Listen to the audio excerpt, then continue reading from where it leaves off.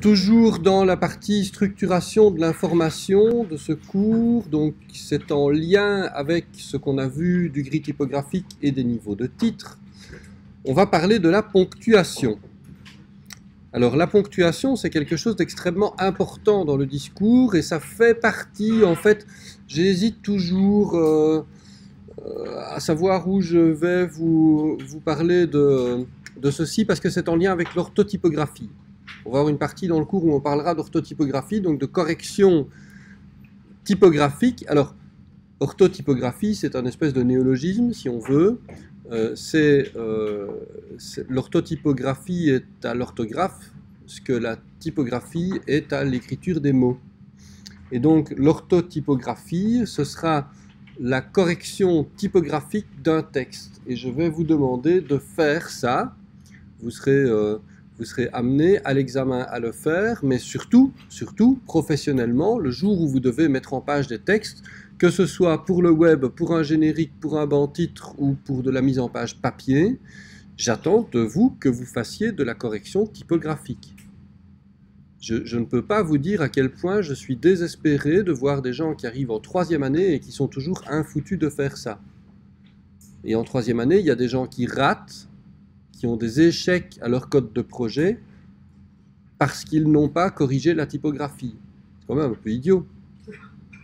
Donc, j'insiste vraiment sur l'importance de ceci. Je vous le redirai quand on parlera vraiment d'orthotypographie. Ici, je vais vous parler euh, de, ponctuation. Alors, la ponctuation, c'est important. Pourquoi? Bah, Parce que la ponctuation, c'est pas vous qui la créez dans un texte. Vous, en fait, vous allez vous assurer qu'elle est employée à bon escient de la même manière que vous allez essayer de faire gaffe aux fautes d'orthographe quand vous mettez en page quelque chose. Vous n'avez pas le droit de changer euh, la ponctuation ni l'orthographe dans un texte, ça appartient à l'auteur, donc vous devez changer avec l'accord de l'auteur, signaler les fautes. Mais il y a des choses que vous pouvez faire au niveau de la ponctuation, et en particulier au niveau de la gestion des espaces.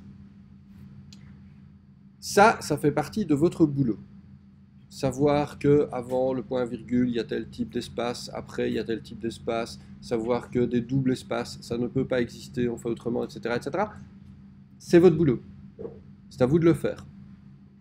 Donc il y a un certain nombre de choses à savoir à propos de la ponctuation et des espaces. Alors, il y a une norme belge en matière de ponctuation et de gestion des espaces. C'est une norme belge qui s'appelle NBN Z01002. C'est magnifique, hein donc elle est disponible sur simple demande à l'IBN, Institut belge de normalisation, euh, et c'est une catastrophe. Déjà en fait, euh, elle fait deux pages, je crois. En fait, la norme belge NBN machin, euh, c'est une norme pour tous les critères de typographie et et de composition. Donc en gros, c'est l'équivalent du, bouquin blanc que je vous ai demandé d'avoir avec vous cette semaine, euh, qui est le lexique des règles typographiques. Vous avez vu le nombre de pages. Bah, vous imaginez qu'en Belgique, on a fait deux pages et puis on était content. Donc ça ne vaut rien. Alors en particulier, ça ne vaut rien parce que en France, ils ont un avantage sur nous. Il y a une langue nationale. En Belgique, il y en a trois. Sur deux, il y en a trois. L'allemand est une langue nationale en Belgique. Or, la composition typographique des langues germaniques, nommément le néerlandais et l'allemand, est extrêmement différente de la composition typographique des langues latines, donc le français. Donc en Belgique, en fait, ils ont fait un espèce d'amalgame entre les deux, qui est complètement pas beau. Par exemple, on ne met pas de guillemets, ne met pas d'espace à l'intérieur des guillemets pour la composition belge. On ne met je pense, d'espace avant. Alors, où sont les points-virgules Voilà, avant les points-virgules, on ne met pas d'espace. Avant les points d'exclamation, avant toutes les ponctuations hautes, on ne met pas d'espace. Ça, en fait, c'est de la composition anglo-saxonne. Quand vous écrivez un texte en anglais, que vous mettez deux points dans une phrase, ou point d'interrogation, ou point d'exclamation, il n'y a pas d'espace avant. Vous collez la ponctuation au mot qui précède. En français, on ne fait pas ça. Donc, cette norme belge, je vous la montre pour mémoire. Le tableau se trouve euh, dans le syllabus à la page 104, mais je vous demande instamment de ne pas l'utiliser. Personne ne le fait, donc ne le faites pas. les normes que nous allons utiliser pour la correction typographique sont les normes de l'imprimerie nationale française qui se trouvent dans votre lexique des règles avec une série d'autres règles typographiques que nous allons utiliser pour ceci et pour le et pour l'orthotypographie. Alors faisons, euh, faisons l'essai, vous allez aller à l'article ponctuation dans le lexique. Allez-y, prenez-le. C'est un dictionnaire, donc AP pour ponctuation.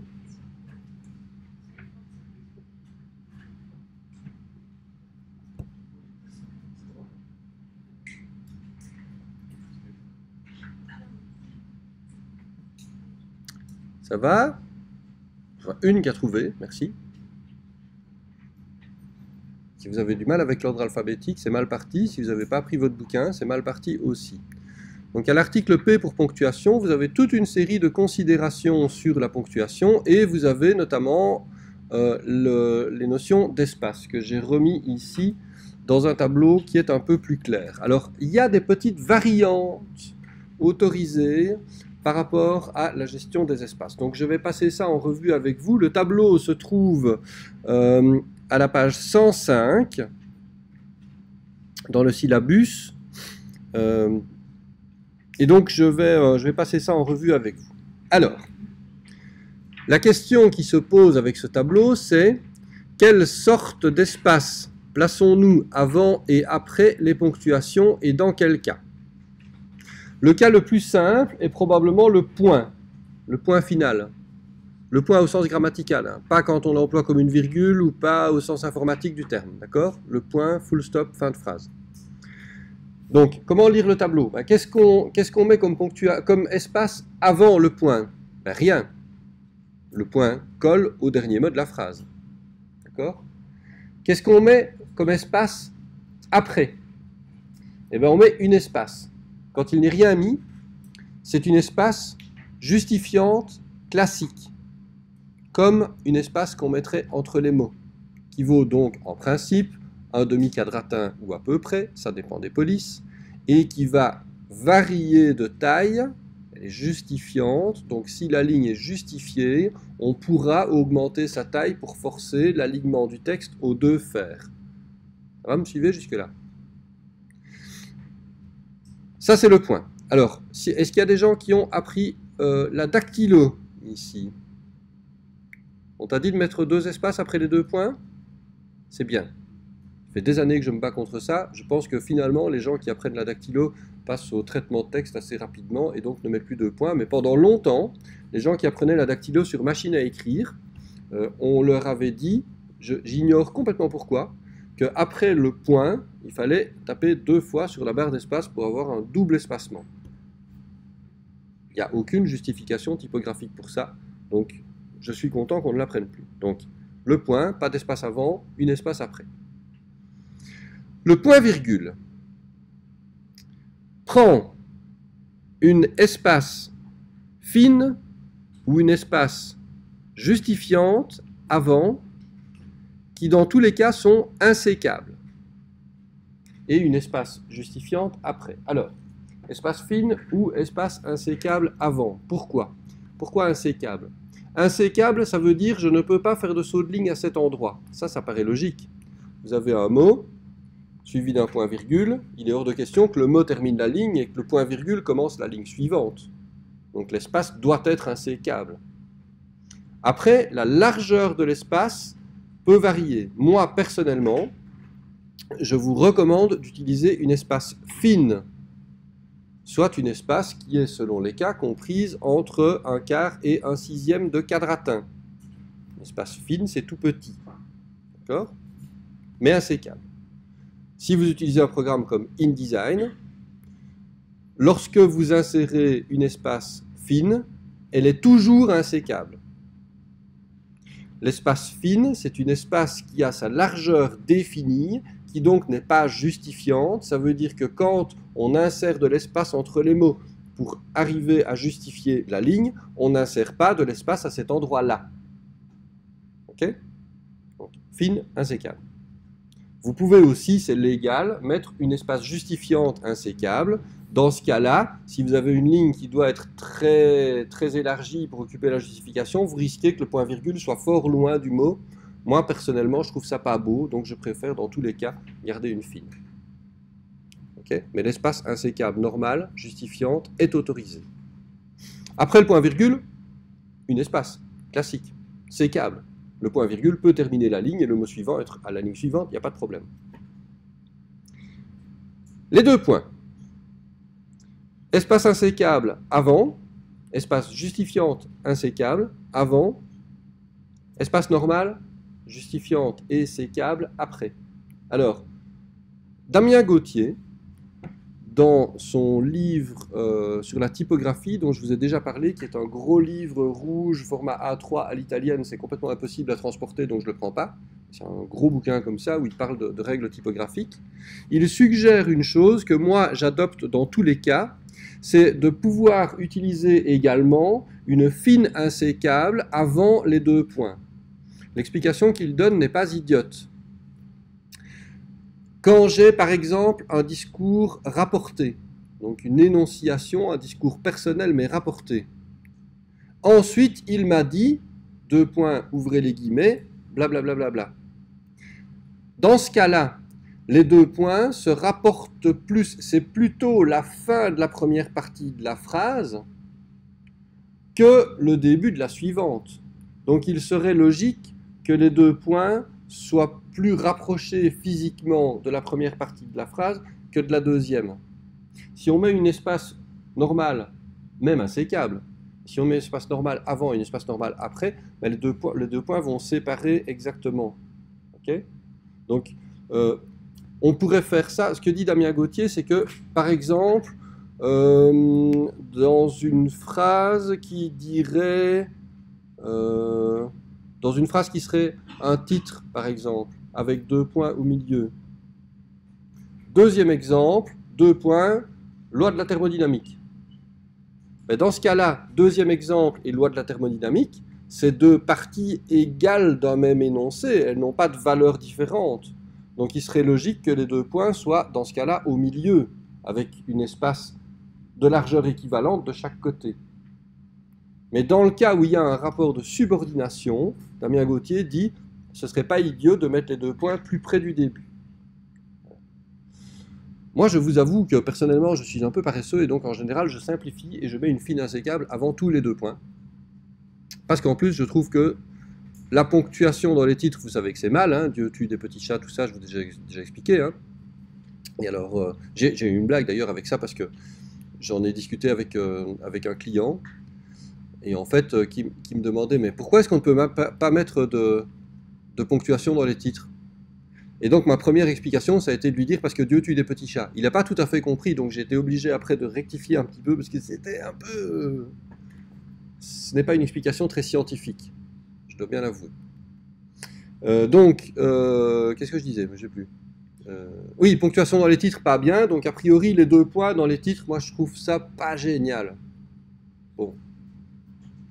Parfois, on n'a pas le choix. Hein. Euh, en tout cas, la ponctuation finale, ça, jamais, jamais, jamais, jamais, jamais. Les deux points, ma foi, parfois on l'a, donc il faut bien le gérer. Et dans ce cas-là, effectivement, c'est pas idiot de se rappeler qu'on peut mettre une espace normale. Mais toujours insécable. Pas question de commencer une ligne par deux points. Ça, ça ne va pas. Les deux points collent au mot qui précède. Ça va? Donc mon tableau n'est pas complet.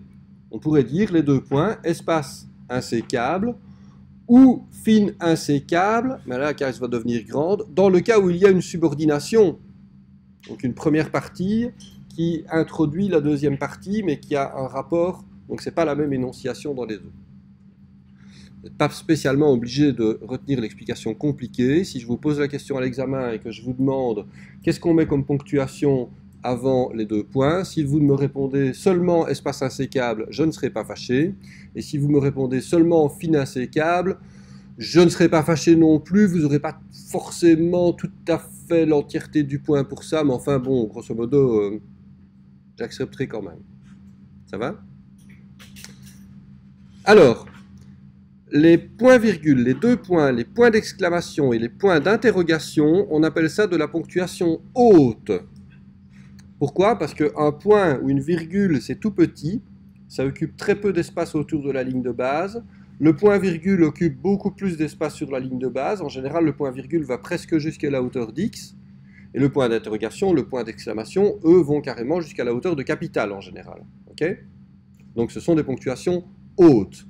Alors la règle en français pour les ponctuations hautes, c'est avant il y aura une espace. Pas toujours la même, mais généralement une fine insécable. Les deux points, si, Damien Gauthier soulève l'argument dans son explication, c'est parce que dans 9 dixièmes des cas, il faut une on peut imaginer une fine insécable avant les deux points. Donc si vous retenez que la règle générale, c'est ponctuation haute, fine insécable avant, espace normal après, vous n'allez pas vous tromper. Dans 99,9% des cas, vous ne vous tromperez jamais. Ponctuation haute, fine insécable avant. Fine insécable donc avant les points d'exclamation, avant les points d'interrogation. Ici, on admet espace insécable. La règle officielle dans le machin dit, oui, on peut mettre une espace insécable. Mais de nouveau, moi je pense que comme pour le point-virgule, c'est pas mal si, ça, si la ponctuation reste proche de la phrase, même en cas de justification. Et c'est pas mal si la ponctuation est plus proche de la phrase qu'elle termine que de la suivante. Moi, ça me semble logique. Alors, la virgule, pas d'espace avant, évidemment. Comme le point, hein, ponctuation basse, pas d'espace avant. Il y a la question des traits d'union et des tirés. Alors, trait d'union, tiré et tiré long. Ce sont trois formes de tiré, mais qui ont des usages différents. le trait d'union, c'est une ligne horizontale qui a comme largeur à peu près la même largeur qu'une espace. Donc en général entre un tiers de quadratin et un demi-quadratin. Mais le plus souvent moins d'un demi-quadratin. Plutôt un tiers. Pourquoi? Parce qu'il existe aussi un tiré demi-quadratin. Alors ça sert à quoi?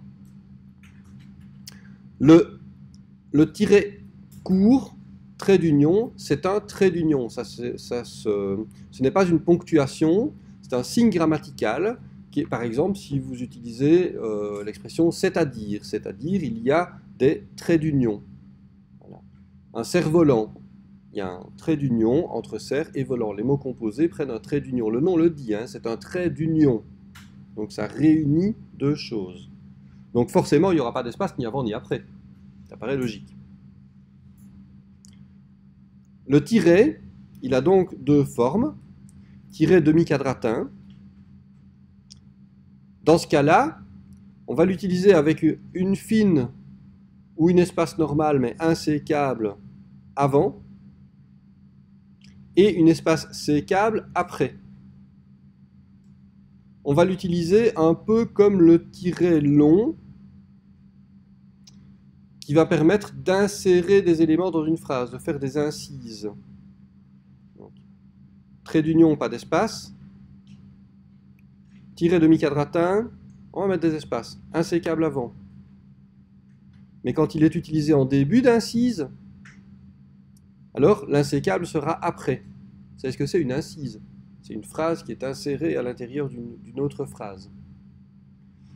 En fait, le tiret demi-quadratin, je suis désolé, hein, il est à cheval sur les deux pages. Le tiret demi-quadratin peut s'utiliser comme un tiret long. Mais il peut aussi s'utiliser, par exemple, dans une énumération, dans une liste. Si vous l'utilisez comme puce, on a vu les alinéas tiretés. On peut l'utiliser dans les alinéas tiretés. On peut l'utiliser dans les, listes pour marquer le début de chaque nouvel item de liste. Ça, c'est possible. Donc, dans ce cas-là, on va l'utiliser euh, avec une espace normal après.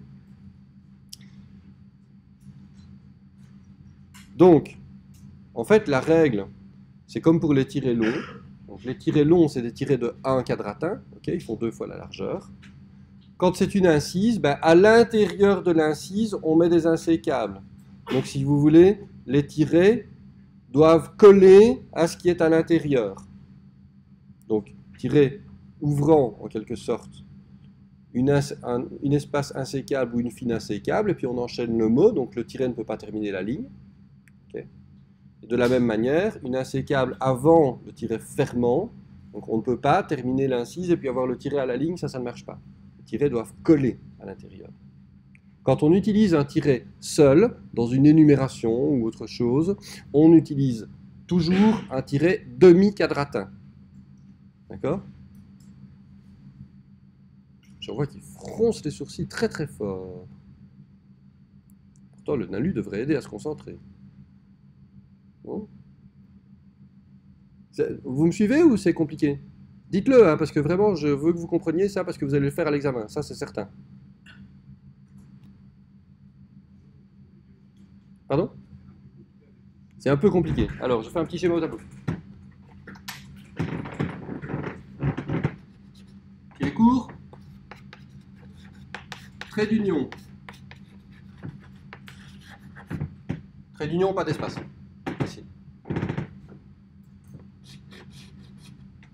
Ça, c'est un tiret, un demi-quadratin. Et le tiret long, c'est un tiret un quadratin. D'accord? D'union, il n'y a pas d'espace. Demi-quadratin, on peut l'utiliser tout seul pour marquer une énumération. Dans ce cas-là, ici, on mettra une espace insécable, mais comme il sera en début de ligne, on s'en fout. Mais il doit forcément coller à ce qui suit. D'accord Quand il est seul, toujours un demi-quadratin. Si c'est pour une incise, donc un morceau de phrase inséré à l'intérieur d'une autre phrase, on peut utiliser soit un demi-quadratin, soit un quadratin. Un demi ou un quadratin. Donc on a une phrase ici.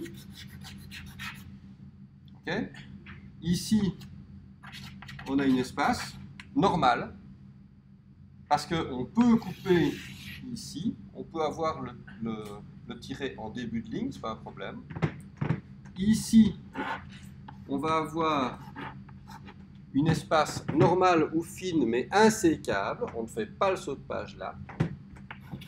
On a l'incise.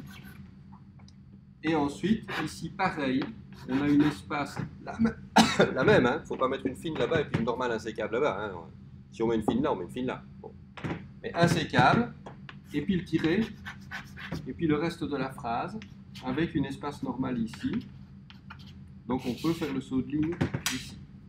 Donc les tirets, que ce soit un demi-quadratin ou un quadratin, pour les incises, on peut utiliser n'importe lequel des deux. Moi, je trouve ça plus joli de prendre des quadratins, je trouve ça plus élégant, ça sépare mieux, mais vous pouvez mettre des demi-quadratins. Mais les tirets collent toujours à ce qu'il y a au milieu. Donc à l'intérieur, on met des insécables, à l'extérieur, on met des espaces normaux.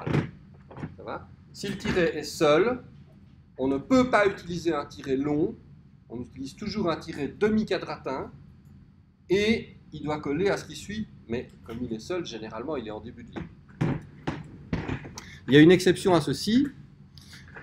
Quand vous avez une phrase dans laquelle il y a une incise et que après la fin de l'incise, la phrase est finie, il y a un point qui est le point final de la phrase, on ne met pas le tiret fermant, entre guillemets.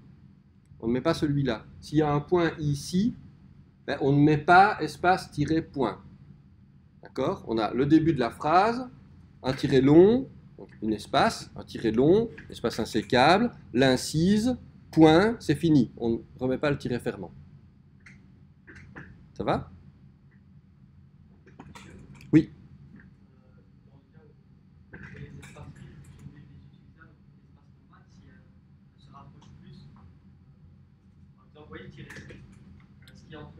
Je vois plein de tirets.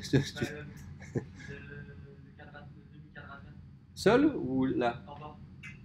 Oui, là Si la phrase est au milieu, oui. elle est plus, proche, et de mettre l'espace Alors, moi, je préfère les espaces fins ici. Je préfère les tirets longs, je préfère les tirets quadratins, et je préfère les espaces fines, parce que ça me semble plus logique si les tirets, ils marquent l'incise. Donc c'est logique qu'ils soient plus proches de l'incise, plus proches du contenu. D'accord? Mais la règle dit, on peut mettre une espace justifiante insécable ici. On peut, c'est pas interdit, c'est dans la règle. D'accord? Mais, comme je vous dis toujours, il y a les règles et puis il y a ce que vous en faites.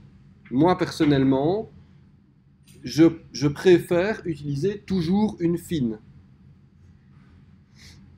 Quand est-ce que vous allez corriger des choses comme ça, quand vous allez recevoir des textes?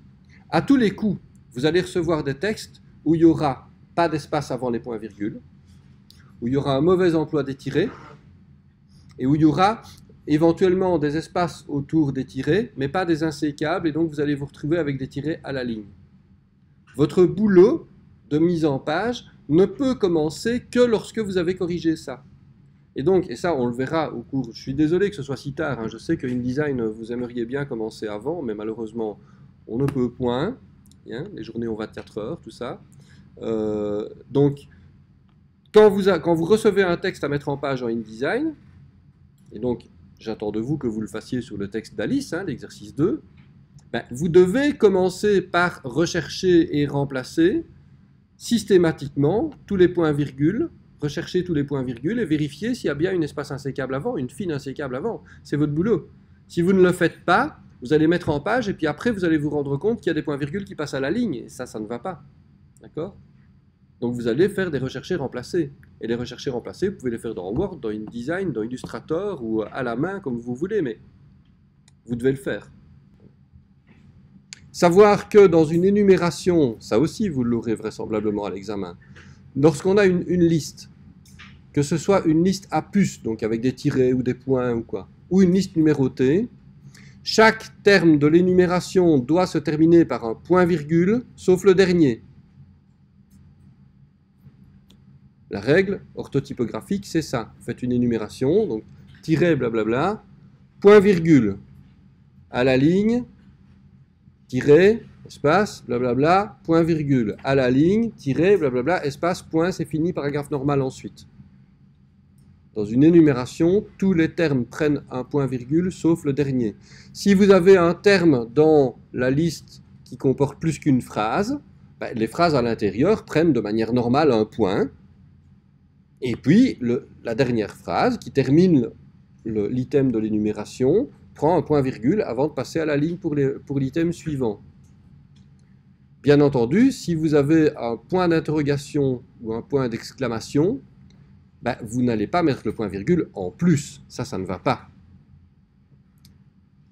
En français, le point d'interrogation et le point d'exclamation, on appelle ça de la ponctuation expressive.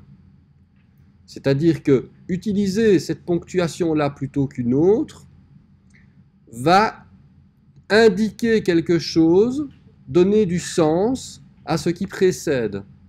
Une question se termine par un point d'interrogation. Si j'enlève le point d'interrogation à ma phrase, dans certains cas, je vois quand même que c'est une question, mais c'est pas clair.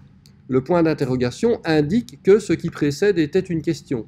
D'ailleurs, vous le savez, quand on le lit à voix haute, on ne lit pas de la même manière une phrase qui se termine par un point d'interrogation et une phrase qui se termine par un point. Grammaticalement, le point et le point d'interrogation, c'est la même chose. Ça termine une phrase. Mais le point d'interrogation est expressif parce qu'il veut dire quelque chose en plus par rapport à la phrase. Dans une énumération, tous les termes prennent un point-virgule, sauf le dernier qui prend un point final, sauf si un terme se termine par un point d'interrogation ou un point d'exclamation, ponctuation expressive. Dans ce cas-là, ben, on laisse le point d'interrogation, le point d'exclamation. Voilà, c'est rien à faire d'autre.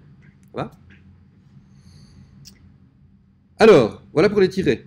Vous m'avez suivi pour les tirets ou... Non, c'est bon? Très bien. Tiret long et tiret demi-quadratin, donc même combat, hein, on est bien d'accord. Si on l'utilise comme euh, tout seul, bah, il prendra une espace insécable après. Si on l'utilise pour les incises, des insécables à l'intérieur. Les guillemets, c'est la même chose. Guillemets ouvrant prend une espace avant, sauf s'il commence la phrase en début d'alinéa, en début de phrase ou en début de paragraphe, il ne prend pas d'espace. On, Il doit être calé au fer, évidemment, ça paraît logique. Euh, et ensuite, il prend une espace ou une espace fine insécable. Moi, je mets toujours des fines. Je trouve ça plus joli, pareil, parce que le guillemet, en fait, qualifie ce qui est à l'intérieur, donc on le rapproche de ce qui est à l'intérieur. Mais à l'extérieur, c'est une espace normal.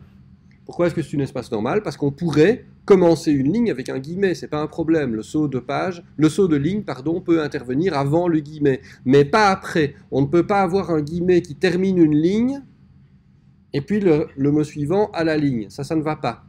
On ne peut pas non plus avoir une ligne qui se termine par un mot et puis à la ligne suivante le guillemet fermant. Ça ne va pas. On doit mettre des insécables à l'intérieur des guillemets.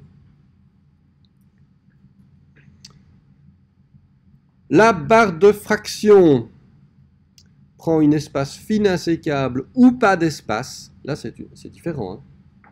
le slash, barre de fraction, fin insécable ou pas d'espace avant, fin insécable ou pas d'espace après. Si vous mettez une espace avant, vous en mettez après. Si vous ne mettez pas d'espace avant, vous n'en mettez pas après. Ça doit être symétrique. Donc la la barre de fraction, ça veut dire quoi? C'est quand on indique, je ne sais pas moi, euh, page 1 sur 15 dans un bas de page soit il n'y a pas d'espace, soit il y a une fine insécable, mais jamais d'espace complète. Quand vous indiquez une fraction, si vous, si vous utilisez une police qui n'a pas de ligature, vous savez qu'il y a des ligatures qui font des fractions avec des exposants, etc. Donc le 1,5 par exemple, au lieu d'être indiqué comme ceci, va tout de suite être indiqué comme ça. Ce un glyphe particulier de fraction. Bien entendu, si c'est 18, 18 25e, vraisemblablement, il n'y aura pas la ligature. Hein. Euh, mais par contre, si vous indiquez, si on le compose comme ceci, alors dans ce cas-là, il faut soit pas d'espace, soit une file insécable. Ça ne vaut pas pour les adresses Internet, puisque les URL ne peuvent jamais comporter d'espace. Dans ce cas-là, les slash éventuellement contenus dans l'URL ne comportent pas d'espace ni avant ni après. Ça, c'est obligatoire. L'apostrophe il n'est de nouveau pas une ponctuation mais un signe grammatical, ne prend pas d'espace avant, pas d'espace après. L'apostrophe colle à ce qu'il y a avant et à ce qu'il y a après, toujours. Et les points de suspension se comportent comme les points, c'est-à-dire pas d'espace avant et une espace après. Il manque des choses hein, là-dedans. Ce tableau-là, c'est un tableau qui est euh, un tableau de base. Je ne vous parle pas, par exemple, des parenthèses. Les parenthèses prennent une espace avant et une espace avant la parenthèse ouvrante, une espace après la parenthèse fermante, mais pas d'espace à l'intérieur. Jamais d'espace à l'intérieur des parenthèses. La parenthèse ouvrante colle au mot qui suit, toujours. Ça va? Il y a d'autres choses à savoir sur les espaces. Si vous allez de nouveau dans votre guide, dans votre lexique des règles typographiques à l'article espace, à la lettre E, vous allez voir qu'on va vous expliquer pas mal d'autres choses sur espace. Donc ce sont aussi des règles qu'il faut connaître. Vous pouvez mettre du fluo si vous voulez sur les articles à étudier parce que vous allez en avoir besoin. À l'examen, vous aurez une partie, dans la première partie de l'examen, vous aurez une partie orthotypographie. Donc je vous donnerai un texte qui comporte des fautes et vous devrez le corriger. Vous aurez le droit d'avoir le lexique avec vous. Mais il fait combien de pages le lexique, Morgane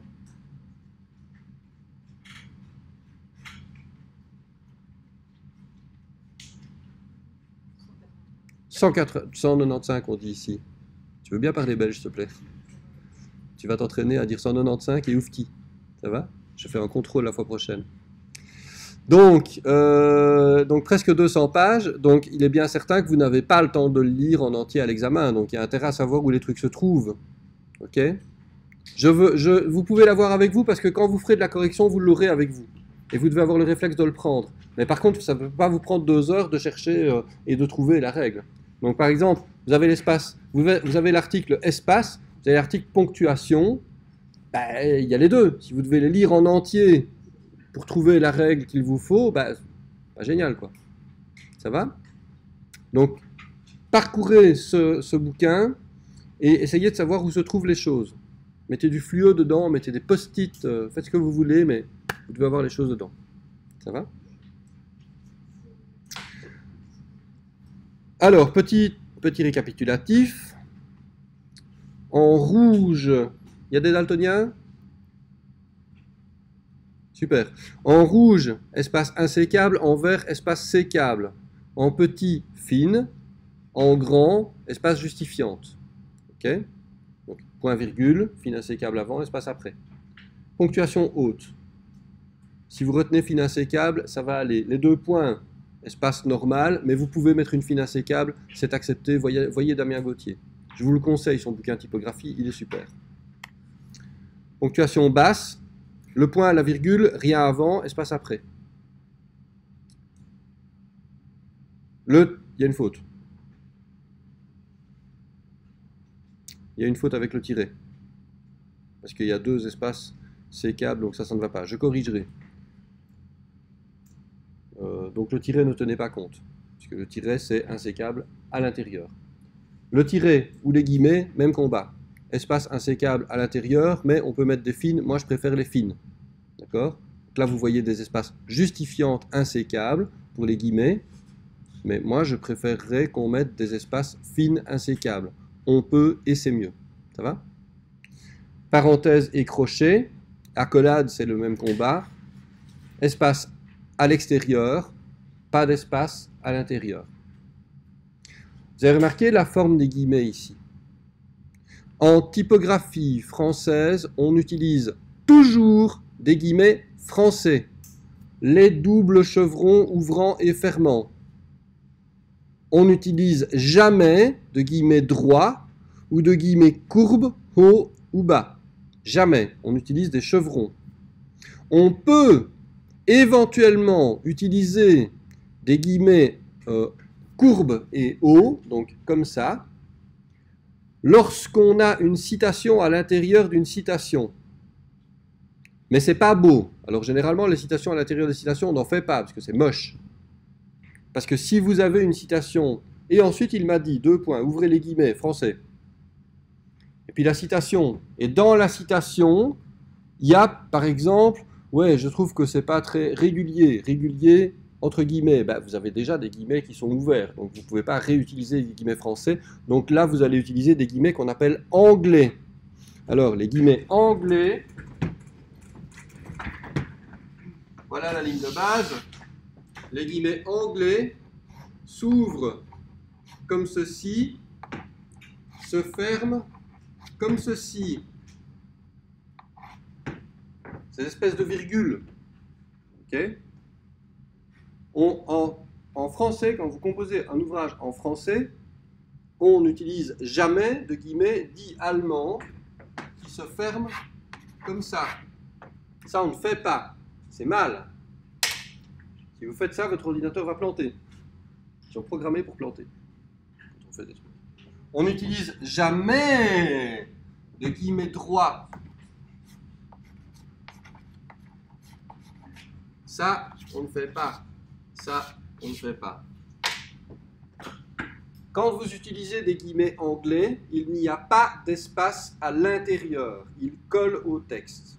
Espace normal avant, pas d'espace à l'intérieur espace normal après. Ça, c'est important aussi, parce que vous allez souvent, là, recevoir des textes où les guillemets français ne sont pas utilisés. Et donc, vous devrez faire... Alors, le pire, c'est les guillemets droits. Parce que les guillemets droits, on ne sait pas s'ils sont ouvrants ou fermants. Quand vous avez des guillemets anglais, les guillemets ouvrants sont différents des guillemets fermants. Donc, vous pouvez faire un rechercher-remplacer rechercher guillemets anglais ouvrant remplacé par guillemets français ouvrant, rechercher guillemets anglais fermant remplacé par guillemets euh, français fermant. J'ai dit français ou anglais? Non, c'est juste. Vous avez compris, hein Ça doit être ça. Donc remplacer les guillemets anglais par des guillemets français, c'est facile. Quand vous avez des guillemets droits, ben, les guillemets ouvrant et fermant sont les mêmes. Donc vous ne pouvez pas faire un rechercher remplacer automatique. Vous devez les rechercher et puis à la main remplacer l'ouvrant par des chevrons et le fermant par des chevrons. C'est pas simple. Euh, dans certains cas, InDesign, dans ses, dans ses euh, euh, options d'importation de texte, peut le faire de manière automatique pour vous, même avec des guillemets droits. Mais c'est pas fiable à 100%. Un peu le problème. On fait comme on peut. Hein.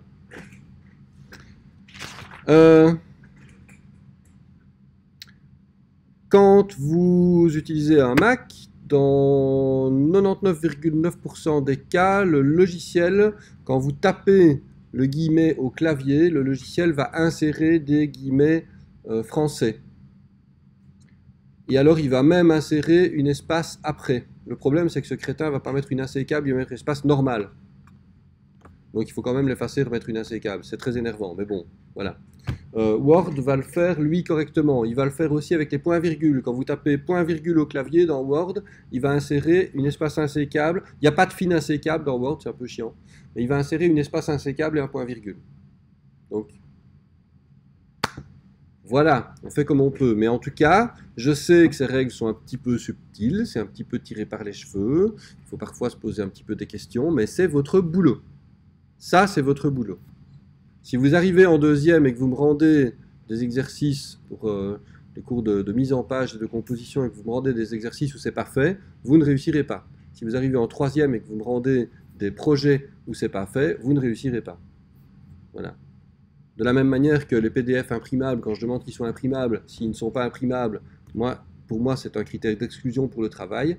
Ben, de la même manière, la typographie, c'est un critère d'exclusion pour, le travail. pour le travail. Ça fait partie de votre métier, c'est la base du métier. Vous êtes, professionnellement, plus tard, ceux qui allez faire en sorte que les règles typographiques soient respectées. Si vous ne le faites pas, personne ne le fera et ces règles sont importantes. Voilà, donc j'insisterai jusqu'à ce que vous y arriviez. Euh, qu'est-ce que je devais encore vous dire? Je vérifie si je n'ai rien oublié. Euh, ça fait partie de votre travail de faire respecter les règles, mais bien entendu, si... Euh, insérer des points-virgules en fin de terme d'énumération parce que l'auteur a mis des points, ça vous pouvez. D'accord? Remplacer des traits d'union par des tirets demi-quadratins ou quadratins, ça vous pouvez. Voir qu'une phrase est mal construite et qu'il faudrait un point-virgule au milieu, ça vous ne pouvez pas. Ça vous changez la construction du document, vous devez signaler la faute, si vous avez la possibilité, demandez à l'auteur si vous pouvez faire directement la correction, et sinon, mettre en page telle quelle et signaler la faute. Et si on ne la corrige pas, on ne la corrige pas. Et si vous avez un client qui insiste pour utiliser des guillemets anglais, vous devez résister avec la dernière énergie pour lui faire utiliser des guillemets français, et s'il ne le fait pas, eh bien, prenez la facture. Hein. parce que voilà, à un moment donné, il faut manger aussi. Mais ce que vous ne pouvez pas faire, c'est juste laisser, laisser pisser vous avez le devoir moral de signaler à l'auteur du document qu'il y a des fautes dans son document. Voilà, ça c'est votre métier. S'il insiste pour ne pas corriger, on ne peut pas le frapper non plus. Hein. Des fois c'est dommage, mais on ne peut pas. Alors, quelques petits rappels. Le point se met en fin de phrase uniquement. Il n'y a pas de titre avec ponctuation, il n'y a pas de titre avec un point. Le point virgule va s'employer dans une phrase pour séparer des parties si jamais les parties sont déjà séparées par des contiennent déjà des virgules. Donc un point virgule sépare deux propositions dans la phrase. Normalement, pour séparer deux propositions dans la phrase, on emploie une conjonction et ou une virgule. Si on a déjà utilisé virgule pour autre chose, eh bien on va employer un point virgule dans ce cas-là. On peut n'employer qu'un point virgule. C'est possible aussi. On peut aussi l'employer, je vous l'ai dit, pour délimiter les éléments d'une énumération. Attention, une énumération, c'est pas forcément une liste à puces. Quand je sortis de ce l'été, je me trouvais entre deux femmes, point virgule. Les odalisques étaient revenues, point virgule. Elle n'avait pas voulu me réveiller, point virgule. Elle s'était assise en silence à mes côtés, blablabla. Bla, bla, bla, C'est une énumération au sein d'une même phrase. Les termes prennent un point virgule, même quand il n'y a pas de liste à puces. D'accord? C'est du Chateaubriand. Vous pourrez dire à vos parents que vous avez lu du Chateaubriand au moins une fois dans votre vie. Quand on a une liste ici à puce, on emploie toujours le point virgule pour délimiter tous les termes, sauf le dernier, évidemment. Deux points, toujours suivi d'une minuscule, et ne pas l'utiliser dans les titres de préférence.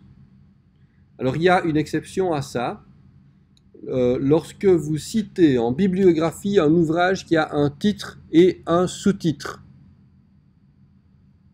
Euh, L'entre-image de Raymond Bellour, sous-titré pour un truc du style pour une analyse moderne des images ou quoi. Donc, si vous regardez la couverture du livre, vous avez l'entre-image en grand et puis pour une analyse blablabla en petit en dessous. Quand vous citez cet ouvrage-là en bibliographie, vous avez le choix. Vous pouvez soit ne citer que le titre principal, Raymond Bellour, virgule, l'entre-image en italique, euh, Paris, je ne sais plus l'éditeur, je ne sais plus la date. Ou bien vous pouvez citer le titre en entier avec son sous-titre, donc l'entre-image, toujours en italique, hein, l'entre-image, deux points pour une analyse moderne des images, virgule. Dans ce cas-là, vous séparez le titre et le sous-titre par deux points. C'est un titre parce que c'est le titre du livre, mais bon voilà.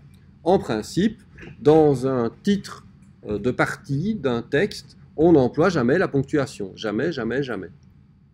Quand vous le faites, c'est pas bien.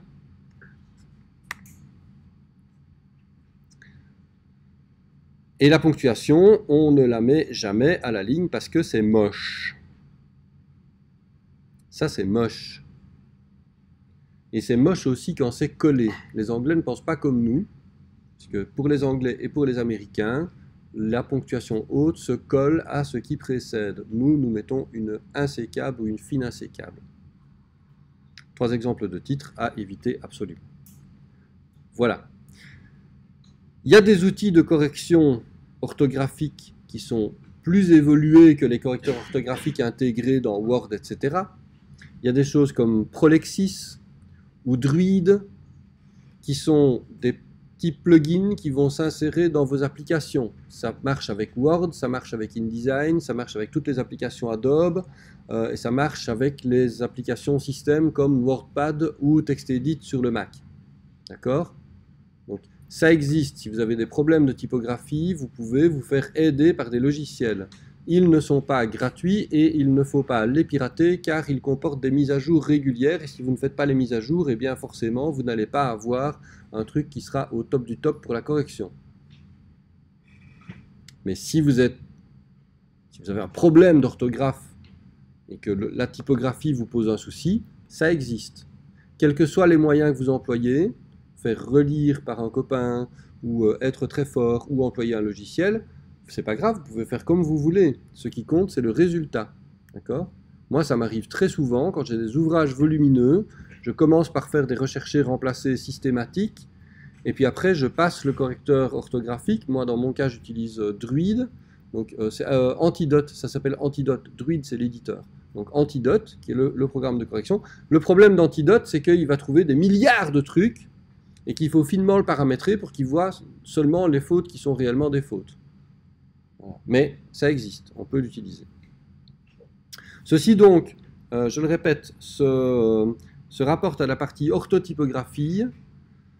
C'est séparé parce qu'il y a un autre chapitre avant, mais voilà, c'est pas toujours très ordonné dans mon cours, mais en tout cas, retenez que ça, ça fera partie des compétences que j'évaluerai dans la première partie de l'examen écrit en janvier. On va enchaîner sur le chapitre 5. On va parler de mise en page. Je vais passer relativement rapidement sur ceci parce qu'il est évident que ce chapitre-ci est approfondi dans le cours de système de mise en page. Pourquoi est-ce que j'ai un chapitre où je me consacre à la mise en page? Tout simplement parce que auparavant, c'est pas moi qui donnais les deux cours. Il y avait deux profs différents pour les deux cours. Moi, je donnais typo à un autre prof, Madame Vivnis, donnait le cours de système de mise en page. Maintenant que je donne les deux cours, je vois plus les correspondances entre les deux et donc forcément, voilà, il faudrait que je révise. À un moment donné, les journées donc à 24 heures, je l'ai déjà dit, hein, c'est ça le problème. Alors, mise en page. Empagement et format de page. L'empagement est à la page ce que le cadre est au tableau. Lorsque vous composez un texte, c'est un peu comme si vous composiez un tableau, et donc vous allez vous ménager des marges de manière à mettre en évidence l'œuvre d'art que vous composez à l'intérieur. La définition des marges n'est pas un problème trivial. D'ailleurs, les valeurs par défaut sont presque toujours des mauvaises idées. Voilà la fenêtre Nouveau document de InDesign. Vous voyez que les marges par défaut sont à 12,7 mm, soit un demi-pouce, ce qui est à peu près dans tous les cas une mauvaise idée, surtout que dans ce cas-ci, les marges sont égales partout. Dans, dans presque tous les cas, ce sera une mauvaise idée. Donc ne faites pas ça. Je, ne reviens pas sur les autres options là-dedans, parce qu'on aura le temps de voir ça. Euh, en pratique. Alors, comment empager? Comment calculer un rectangle d'empagement? Nous allons régler la taille des blancs autour des rectangles d'empagement, et ce n'est pas un problème trivial, parce que de la même manière que le format de page, le format de papier, ça va régler la dynamique de votre texte. Plus carré, plus rectangulaire, plus haut que large, plus large que haut, carré, etc. etc. Le rectangle d'empagement a aussi une relation euh, de, euh, une relation euh, mathématique avec les dimensions de la page. Donc vous avez les dimensions de la page et puis les dimensions de l'empagement. Les deux forcément se répondent. À gauche ou à droite, ça va aussi créer un effet différent à cause de l'asymétrie. alors on va partir du format de papier. Ça vous vous souvenez, hein? Je vous l'indique autrement ici, pourquoi? Parce que, vous vous souvenez de ces formats-là, j'en ai parlé en système de mise en page, un couronne, écu, coquille, carré, raisin, etc., etc. sont des dimensions en millimètres. Alors en fait, je vous ai noté les différentes variantes sur les lignes. Vous avez des variantes in plano, in folio, in quarto, in, je ne sais pas, sexo, in octo. Après, les autres, on dit normal. Hein. Donc in 12, in 16, in 18, in 24. Ça veut dire quoi, in? Ça veut dire c'est le pli. In plano, c'est le format de la feuille de papier telle qu'elle posée à plat. In folio, ça veut dire qu'elle a été pliée en deux. In quarto, ça veut dire qu'elle a été pliée en deux, puis encore en deux, ça veut dire en quatre. In 6, ça veut dire pliée en trois et puis en deux. Et donc, c'est le pliage du cahier. Puisque, effectivement, on peut utiliser une grande feuille de papier, et puis la plier pour faire plein de petites pages, et ce sera plus facile à relier. On fait toujours ça aujourd'hui en imprimerie, puisque le format de papier euh, est assez différent d'ici. Hein. ça, c'est du vieux papier qui a été euh, euh, travaillé à la machine manuelle. Le format de, papier va nous donner une indication sur le format maximum qu'on peut imprimer. Mais on a aujourd'hui des presses qui impriment sur du format 72 par 102 cm. 72 cm par 1 m 2. C'est un peu grand hein, comme page de papier. Des livres à ce format-là, ça va pas forcément se vendre super bien. Donc généralement, quand on utilise de grands formats de papier comme ça, c'est pour pouvoir imprimer beaucoup de pages à la fois. Sur un format 72 par 102, on peut faire des cahiers de 16 pages ou de 32 pages. 16 pages, ça veut dire qu'on va imprimer 8 pages au recto, 8 pages au verso, puis après on va plier et on va obtenir un, cahier, donc une feuille de papier pliée qu'on va découper sur trois côtés et qui fera une espèce de mini-livre. On peut en faire plusieurs, les assembler, les relier, et donc dans ce cas-là, on a un volume complet. Tous les livres que vous avez, euh, tous les livres qui sont obligatoires pour, euh, pour ce cours, sont des petits formats qui n'ont pas été imprimés sur des petites feuilles de papier. Ça a été imprimé sur des grandes feuilles de papier, puis ensuite ça a été plié. Alors je vous expliquerai en fin, de cours on parlera un peu de pré-presse et on parlera de fabrication de papier. Ceci, en fait, c'est la machine de Nicolas Robert, qui date de la fin du XVIIIe siècle, qui est la première machine à fabriquer du papier en continu, avec un rouleau, avec un transport sur feutre, etc. etc. Je ne reviens pas là-dessus, mais je vous la montre pourquoi ben, Pour vous dire que les formats de feuilles de papier sont déterminés par le processus de fabrication.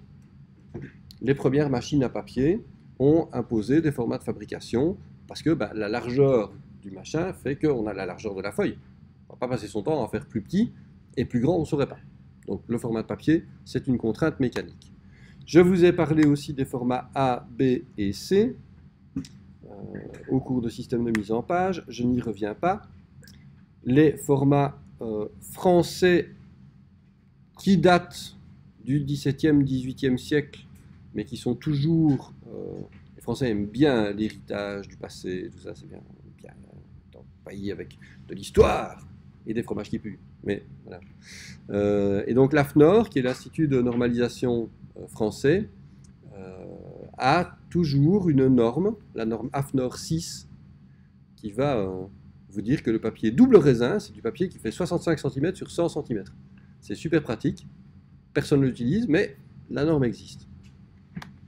format américain, je vous en ai parlé aussi, en particulier le format letter et le format legal qui sont les, des formats qui sont très fort utilisés. Attention, tous les rapports hauteur-largeur ici sont des rapports qui euh, qu'il est possible d'intervertir, puisque vous pouvez utiliser des formats de papier soit à la française, mode portrait, entre guillemets, sur votre driver d'impression, on dit mode portrait, donc à la française, ça veut dire plus haut que large, et à l'italienne, c'est plus large que haut. De là avoir un rapport avec la physionomie des habitants, je ne sais pas, mais plus haut que large français, plus large que haut italien. Je regarde s'il y a des Italiens dans la salle que j'ai vexé. Non Ça va? Bref. Vous en discutez à la pause de toute façon. Hein. Alors l'objectif, quand on fait un empagement, c'est de déterminer les tailles de marge de manière harmonieuse. Alors ça veut dire quoi harmonieuse? Ben, C'est culturel, c'est délicat. C'est pas des valeurs absolues, mais sur des rapports mathématiques entre la hauteur et la largeur du rectangle d'empagement et le rapport entre ces dimensions-là et la largeur et la hauteur du papier. Donc c'est compliqué. Donc c'est compliqué. Parfois les formats de papier, si vous avez beaucoup de livres qui sont en format 18-24 ou 19-24, c'est en partie pour des raisons techniques. Parce que le format 18-24 est le format le plus grand qui permet d'imprimer des cahiers de 32 pages sur des feuilles de 72 par 102.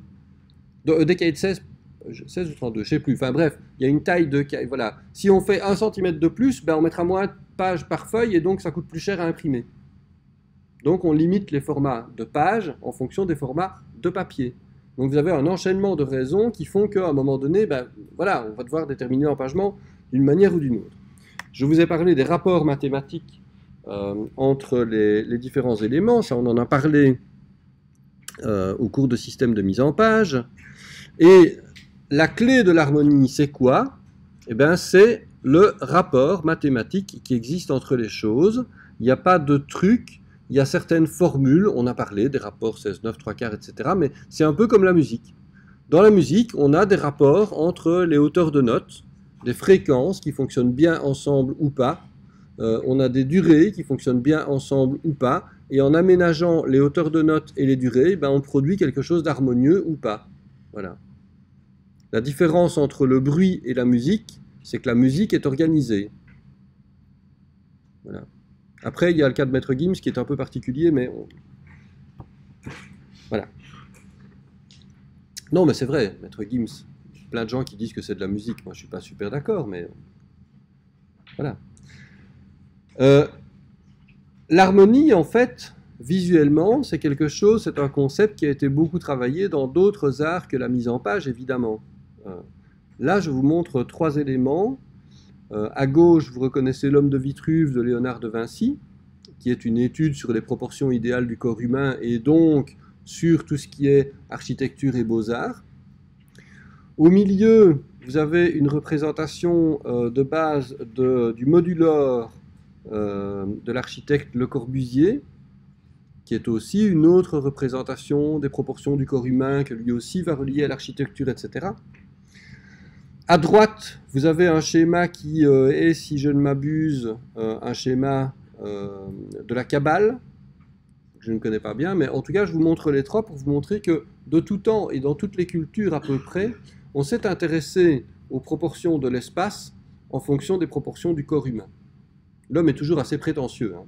Historiquement, l'homme est très prétentieux. On croit toujours que le monde a été fait pour nous et que donc notre place dans le monde ben, on, va, va définir les proportions du monde en fonction des proportions de notre corps. Fort prétentieux, mais bon.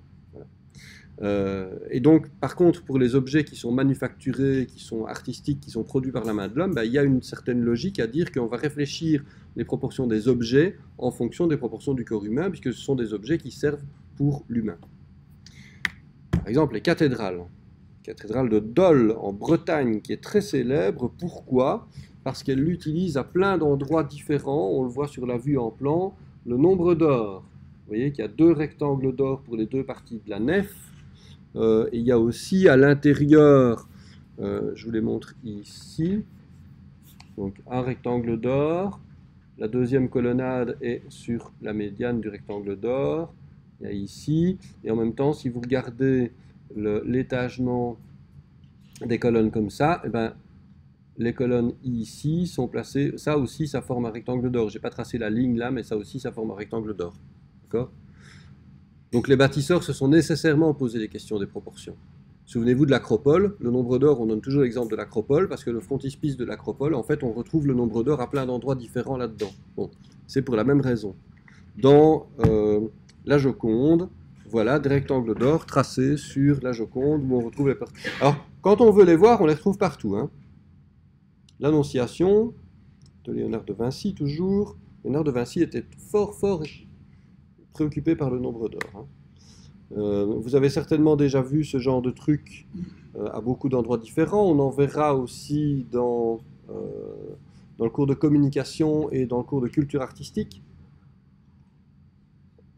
Ici, c'est le printemps de Botticelli où on a. les, cercles, etc., servent à quoi? Ben, Ils servent à montrer que dans la peinture, dans le dessin fini, il y a des proportions qui se retrouvent à divers endroits dans les différents éléments du tableau et qui sont dans des rapports mathématiques précis. On n'a pas placé les éléments au hasard. C'est un petit peu euh, la chose que je vous demande, moi, de faire avec votre travail de composition. Il y en a beaucoup d'entre vous qui ont raté, parce que pas spécialement ils ont fait un truc mauvais, mais simplement ils ont fait un truc où ils ne se sont pas posé la question de la composition. Moi, ce qui m'intéressait dans votre travail, c'est d'avoir un format de papier aux proportions réfléchies, avec dedans une photo avec une composition réfléchie et du texte qui a été pensé. Que ce soit beau ou pas, je m'en fous. Que ce soit une chouette photo ou pas, je m'en fous. Je veux que vous réfléchissiez à comment la photo, le format de papier et les éléments typographiques s'agencent pour donner un truc qui a du sens la plupart des gens qui ont raté, j'ai souvent mis euh, cette note dans, le, dans, les commentaires en disant mais il n'y a pas de composition, il n'y a pas de sens. Oui, tu as fait une chouette photo, mais après tu m'as mis ton nom en dessous. J'ai pas demandé qu'on fasse une légende aux photos. J'ai demandé qu'on fasse une composition réellement. Alors, il n'est pas étonnant que ce soit à la Renaissance qu'on trouve un grand nombre d'œuvres qui se réfèrent à une conception scientifique de la beauté et de l'équilibre. Pourquoi? Ben, Parce qu'à la Renaissance, justement, c'est la naissance de l'esprit rationnel, et donc on va avoir une, une, tendance à insérer de la science dans l'art, et à réfléchir en termes mathématiques, en termes physiques, à ce qui se passe dans l'art. Le nombre d'or, 1 plus racine de 5 sur 2, c'est donc 1,618 sur 1. Je ne vais pas vous, refaire l'explication, puisque donc celle-là, je vous l'ai déjà faite euh, en, euh, en système de mise en page. Voilà. En graphisme, on va souvent utiliser des proportions qui sont proches des nombres d'or, du nombre d'or ou qui utilisent des rapports mathématiques qui sont également des rapports mathématiques qu'on peut décrire, qu'on peut objectiver. Voilà. Par exemple, les rapports mathématiques suivants. 1 par 2. Ça, c'est un rapport mathématique qu'on utilise. Quand vous avez des pages carrées, vous allez avoir une page qui fait 1 sur 1. Quand vous ouvrez, la double page fera 2 sur 1. Ça, c'est une proportion qui nous parle. 2 pour 3, 3 pour 5, 4 pour 6, 5 pour 8, etc. Ça, ce sont des proportions qui nous parlent aussi. Euh, la suite de Fibonacci aussi peut fonctionner. La suite de Fibonacci, euh, c'est un système mathématique, c'est une suite mathématique dans laquelle chaque terme est la somme des deux précédents. Oups, pardon. Donc, la suite de Fibonacci. On commence avec 0 et 1 pour amorcer la suite. 0 plus 1, 1. 1 plus 1, 2. 2 plus 1, 3. 2 plus 3, 5. 3 plus 5, 8, 5 plus 8, 13, 8 plus 13, 21, et ainsi de suite. La suite de Fibonacci est intéressante. Elle a un rapport avec le nombre d'or. La suite de Fibonacci, si on construit euh, des carrés qui ont euh, un côté égal à la somme des deux termes précédents, on va construire quelque chose qui ressemble à ça. Donc, qu'est-ce que vous voyez ici? 1 plus 1, 2. OK 2 plus 1, 3. 3 plus 2, 5. 5 plus 3, 8. 8 plus 5, 13, et ainsi de suite. C'est comme ça qu'on construit des surfaces qui vont s'agencer, qui vont construire une surface plus grande. Après, on va avoir 13 plus 8, 21. Et donc, le carré fera 21 ici, et ainsi de suite. Si vous faites ça, eh bien, vous allez construire, et si vous le construisez euh, non pas de manière linéaire, mais de manière concentrique, si vous passez par les points qui sont ici, vous allez construire une spirale. Et une spirale qui aura une proportion parfaite. Là, on appelle la proportion, donc le pourcentage d'agrandissement de la spirale à chaque tour, on appelle ça la raison mathématique de la spirale. Et les spirales de Fibonacci, ce sont des choses qui sont très intéressantes parce qu'elles ont des rapports mathématiques avec le nombre d'or. Ce sont des choses qu'on trouve dans la nature. On trouve ça par exemple euh, dans euh, la disposition des graines de tournesol sur un tournesol. Eh ben, la spirale, vous avez peut-être déjà vu les graines quand on les agence sur un, sur un cercle, si vous agencez des, éléments de même taille sur un cercle, eh ben, vous allez avoir par effet de moirage un motif qui va se dessiner. Ben, ce motif, c'est une spirale de Fibonacci. Le nautile, qui est un mollusque qui vit euh, dans les eaux chaudes, il y en a de moins en moins des nautiles, mais bon, la, coquille du nautile, si vous la coupez en deux, pauvre bête, vous allez voir que la spirale de la coquille est une spirale de Fibonacci. Donc c'est un truc qu'on va retrouver partout. Alors à la Renaissance, je vous l'ai déjà dit au cours du système de mise en page, ça c'est un truc qui va euh, euh, vraiment intéresser les artistes. Ils vont se dire, c'est dingue, j'ai trouvé un truc mathématique que je peux expliquer. Je peux expliquer mathématiquement de manière simple ou à peu près simple le, rapport entre les nombres, et ce rapport entre les nombres, je le trouve dans la nature. Est-ce que Dieu fait des maths? Après, est-ce qu'il y a un Dieu? C'est une autre question, mais voilà, à la Renaissance, il n'est pas trop question d'être pas catholique, hein, parce qu'en général, on finit brûlé quand on n'est pas catholique. Et donc, est-ce que Dieu fait des maths? La question se pose. Voilà, euh, Information Architect, le site IA, qui, publie des articles euh, sur le, graphisme en matière de web, qui avait publié notamment un article très intéressant qui disait que le web c'était 99% de la typographie, article très célèbre. Ils ont proposé un template WordPress qui était basé sur la suite de Fibonacci. Donc euh, voilà des spirales de Fibonacci, des nombres d'or qui sont agencés là, et vous voyez que les proportions entre les éléments peuvent être expliquées par des rapports qui appartiennent à la suite de Fibonacci. C'est un peu la même idée que les formats A. Hein. Les formats A sont basés sur une relation mathématique qui est remarquable, puisque donc racine de 2, soit 29,7 par 21, 1,4142, 1 par racine de 2, et c'est facile de tracer un rectangle qui fait 1 sur racine de 2. Voici la méthode pour tracer un rectangle de 1 sur racine de 2. Vous prenez un cercle, vous commencez par tracer un carré dont le premier coin sera au centre et le coin opposé touchera la, euh, la circonférence. Ensuite, vous prolongez l'horizontale et vous prenez la tangente ici et le rectangle qui est délimité par le carré plus ce petit bout de rectangle, en fait, il fait 1 sur racine de 2. Vous vous souvenez, je vous ai expliqué qu'aujourd'hui, ouais, c'est facile, hein, vous allez faire 1 et puis 1,414. Fastoche. Sauf qu'en fait, c'est pas 1 sur 1,414. Il y a des décimales à l'infini. Donc si vous vous limitez à la troisième décimale, vous faites un truc qui est presque juste, mais pas tout à fait. Parce que racine de 2 est un nombre irrationnel. Ça veut dire un nombre dont on ne, qu'on ne peut pas exprimer sous forme de fraction, qu'on ne peut pas exprimer sous forme de euh, nombre répétitif, et donc à un moment donné, bah, vous devez le construire de manière géométrique. Voilà la manière de construire un cercle de manière géométrique. Et les formats A sont basés là-dessus. Ces proportions ou d'autres peuvent servir de format de base. Il y a un nombre de contraintes absolument infini sur le choix du format de base des pages. À partir de là, on va pouvoir construire quelque chose en définissant les marges, euh, qui sont principalement ici. Alors, je passe pas vraiment en revue parce que, voilà, je pense que c'est n'est pas le lieu de le faire, mais quand vous créez un nouveau document dans InDesign, vous avez une définition de marge avec une nomenclature correcte, blanc de tête, blanc de pied, petit fond, grand fond.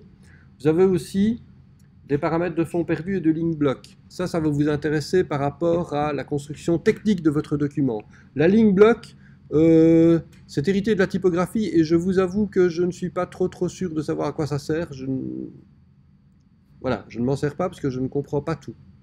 Par contre, le fond perdu, ça oui. Le fond perdu, qu'est-ce qu'il va faire? Il va créer des repères en dehors de votre page qui vont vous indiquer jusqu'où vous devez prolonger des éléments quand ils arrivent au bord de page. Quand on imprime, si on imprime une surface colorée et qu'elle doit aller jusqu'au bord de page, on, ne crée pas une surface qui va jusqu'au bord de page, on crée toujours plus grand.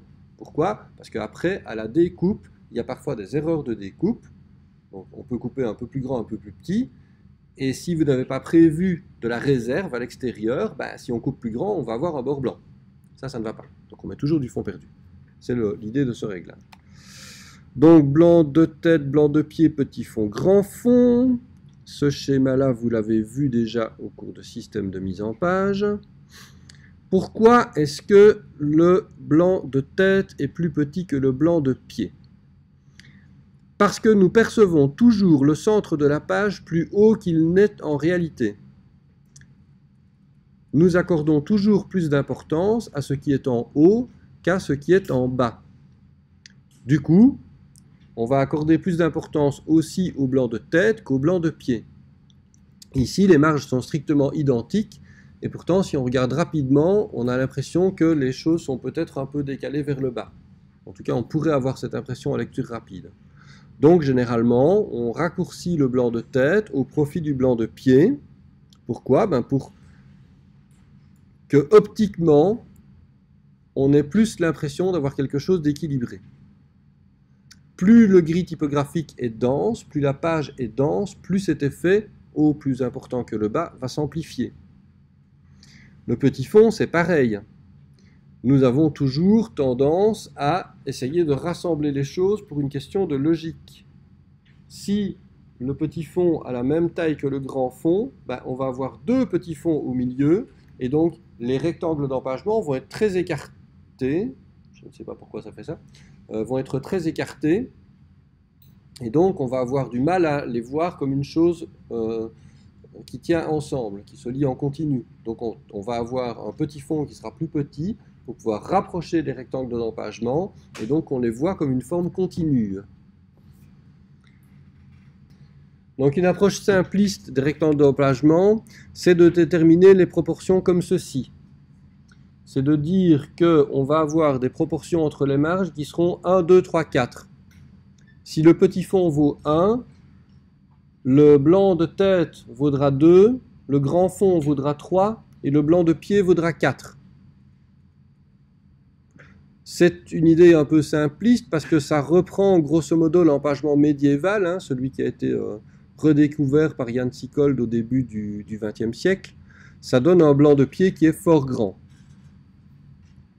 On peut faire 2, 3, 4, 5. Ça marche aussi. Mais en tout cas, il doit y avoir un rapport de taille entre les blancs, parce que même s'ils ne sont pas contigus, euh, ben, nous avons envie de les voir comme des éléments qui ont un rapport mathématique euh, correct entre eux. Voilà un autre exemple avec ce qu'on appelle la rotation des blancs, c'est ceci. Hein.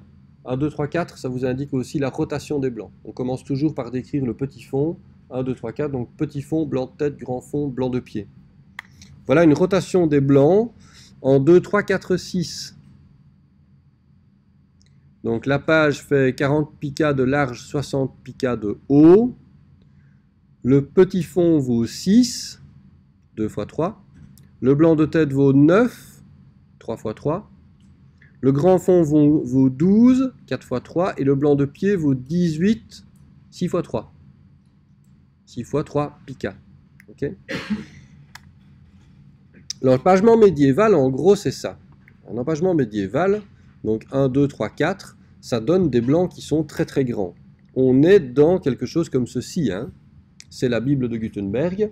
Donc on est dans un... C'est fait pour des très grands formats de papier, avec des marges qui sont très importantes. Il y a plein de raisons techniques aussi à avoir des marges aussi importantes, notamment le fait qu'on va tourner la page en prenant par le bas et que c'est une grande page, donc on doit pouvoir prendre la la feuille sans abîmer l'écriture, donc sans passer le pouce sur l'écriture.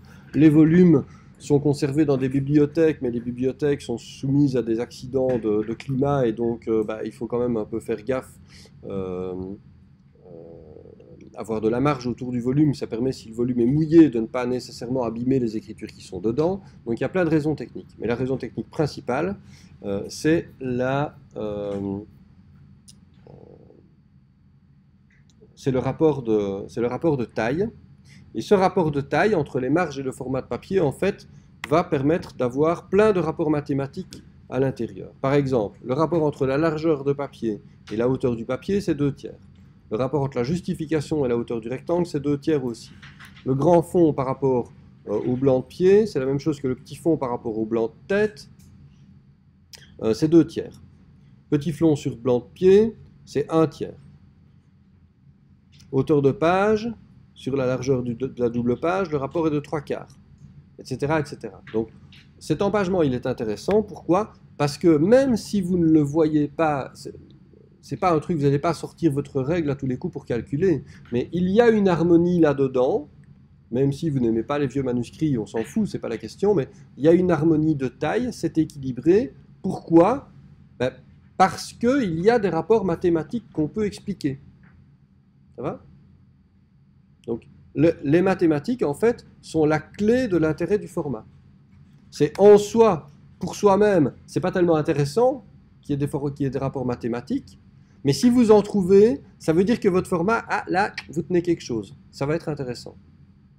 Alors, il existe des méthodes pour, euh, pour calculer les empagements, donc pour calculer la taille euh, des, euh, des marges, pour s'y repérer dans la taille des marges. Une de ces méthodes, alors je la, je la donne avec réserve parce que c'est une méthode qui, souvent je, l'explique aux étudiants et puis tous les étudiants sur toutes les années pour tous leurs travaux me disent ah ben j'ai calculé les marges avec le canon des ateliers, ça doit être formidable. Non, c'est pas le cas. Le canon des ateliers, qui est la méthode dont nous allons parler, est une méthode de calcul des empagements. Vous la retrouverez dans euh, le livre Mise en page de Perrousseau, le vert.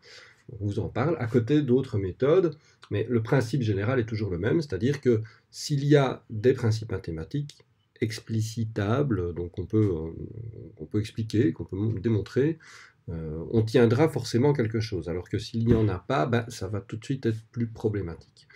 Le canon des ateliers, c'est une méthode euh, qui est relativement simple, puisque pour déterminer le rectangle d'empagement, on va commencer par déterminer quelle largeur de justification on veut utiliser. il y a deux versions du canon des ateliers. Une version euh, pour les ouvrages dits de qualité, pour les ouvrages un peu luxueux, où dans ce cas, on va décider de n'utiliser que deux tiers de la largeur de la page pour la justification. Euh, et l'autre version, pour des ouvrages plus, courants, plus ordinaires, consistera à utiliser une justification qui vaudra trois quarts de la largeur de la page, donc c'est nettement moins. Euh, c'est nettement plus, pardon. Donc, comme toujours, plus une mise en forme comporte du blanc, du vide, plus elle sera luxueuse. Donc, je commence par la version ouvrage de qualité. Justification égale 2 tiers de la largeur de la page. Ça veut dire donc, pour si on a une largeur de page, mettons, de 21 cm, eh bien on va en utiliser 14, euh, 2 tiers de 14, 2 euh, tiers de 21 pour la justification, la largeur du rectangle d'empagement. Ça veut donc dire qu'il va rester un tiers de la largeur de la page, soit dans mon exemple 7 cm, qui sera qu'on va appeler le blanc latéral, le blanc à répartir sur la largeur de la page. Ce blanc, on va le répartir évidemment d'abord à l'horizontale, on va en mettre 4 dixièmes en petit fond, 6 dixièmes en grand fond. le petit fond, je vous rappelle, c'est la marge qui est du côté reliure, le grand fond, c'est celle de l'autre côté. 4 dixièmes de 7, ben, ça fait 2,8, et 6 dixièmes de 7, ça fait 4,2. Euh, donc euh, voilà, si on additionne les 3, eh bien, on obtient 21 cm, c'est notre largeur, de page. Ensuite, donc 2,8, 4,2. Euh, on va reprendre ce blanc latéral pour le répartir verticalement. Et là, on va en utiliser 12 dixièmes, mais c'est pas grave si c'est trop, puisque de toute façon, c'est le blanc latéral. Donc on va utiliser cette mesure-là, cette référence-là, pour donner un blanc vertical. Euh, donc 7 cm dont on va mettre 5 dixièmes en tête. 5 dixièmes c'est la moitié, donc c'est 3,5. 3 cm et demi de marge de tête. Et 7 dixièmes en pied, donc 4,9 cm en marge de pied. Euh, vous remarquerez que le blanc tournant, si on le prend dans l'ordre habituel en commençant par le petit fond et en tournant vers euh, blanc de tête, grand fond, blanc de pied, eh bien on a 4, 5, 6 et 7. Voilà encore une largeur, une grandeur mathématique, un rapport mathématique qui est intéressant. Pour un ouvrage courant, on va donc euh, faire la même chose, si ce n'est qu'on va utiliser trois quarts de la largeur de la page. Euh, si j'ai une page de 20 cm, eh bien, je vais donc en utiliser 15 pour le rectangle de justification. Il restera 5 cm, blanc à répartir, un quart de la largeur de la page, 5 cm, un quart de 20, 5. Ce blanc, on en mettra 4 dixièmes en petit fond, 2 cm. 5 dixièmes en blanc de tête, 2 cm et demi. 6 dixièmes en grand fond, 3 cm. 7 dixièmes en pied, 3 cm et demi. 4, 5, 6, 7. Ils sont à l'envers à l'écran parce que euh, je les donne petit fond, grand fond, tête, pied, mais le blanc tournant, vous savez que en fait le blanc tournant, ça se prend à partir du petit fond, puis euh, voilà, 4 dixièmes, 5 dixièmes, 6 dixièmes, 7 dixièmes, dans cet ordre-là. La largeur du rectangle d'empagement entre 66,666, entre 2 tiers et 3 quarts de la largeur de la page. 4, 5, 6, 7, c'est une... Euh, euh, un rapport qui est un peu plus moderne que l'empagement médiéval. Si on reprend l'empagement médiéval, euh, bien on constate que c'est 2, 3, 4, 6. Sur un empagement médiéval, le blanc de pied est deux fois plus important que le blanc de tête. Donc c'est voilà, une autre manière de mettre en page qui est plus antique. Donc d'une manière générale, on peut dire aussi que plus les euh, marges sont différentes les unes des autres, plus on sera dans un empagement qui sera antique, qui fera ancien. Les empagements contemporains ont tendance, je dis bien tendance, à donner des marges, euh, des blancs de tête de pied, petit fond, grand fond, qui vont être plus égaux les uns aux autres. Alors, euh, j'ai aussi dessiné sur ce schéma les diagonales des pages et des planches. Donc, ce que j'appelle planche. Ben, la planche, c'est la double page. Hein. donc, ceci est une diagonale de planche. Ceci aussi, alors que ceci est une diagonale de page, ceci est une diagonale de page. Pourquoi est-ce que je l'ai dessiné sur l'empagement médiéval? Parce qu'on retrouve des valeurs qui sont intéressantes sur l'empagement médiéval. Euh, notamment le fait que vous voyez que le rectangle d'empagement, il occupe un espace qui est compris sur la diagonale de la page. Donc la diagonale du rectangle d'empagement se confond avec la diagonale de la page. Par ailleurs, le coin supérieur et extérieur du rectangle d'empagement se confond, passe sur la diagonale de planche. Alors, le canon de 22 graphes que je vais vous expliquer ensuite, 22 graphes est un monsieur qui a trouvé une méthode pour dessiner l'empagement médiéval, qui est une méthode euh, pratique parce qu'elle utilise euh, des tracés, qui sont des tracés simples, euh, qui vont permettre simplement à l'aide d'intersections, de parallèles, de construire un rectangle d'empagement qui sera juste mathématiquement. Alors vous allez me dire, oui, mais bon, on peut aussi simplement diviser et ça va fonctionner. Alors c'est exact, mais la difficulté de la mesure et la difficulté du calcul mathématique, euh, ben, on, ne peut pas complètement l'ignorer. À un moment donné, ça induit des...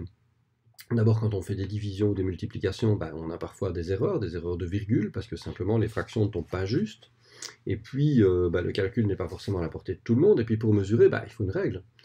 Et mesurer, il faut une règle graduée, ça veut dire qu'il faut un instrument de mesure relativement précis, et au Moyen-Âge, on n'a pas forcément ça sous la main. Ça a l'air idiot, mais en réalité, c'est pas si, pas si idiot que ça. 22 Graph va donc proposer une euh, méthode qui utilise les diagonales pour construire notre rectangle d'empagement. Donc soit deux feuilles de papier. Sur lesquels on va tracer une diagonale de planche, une autre diagonale de planche, une diagonale de page, une autre diagonale de page. Jusque-là, le dessin n'est pas très très compliqué.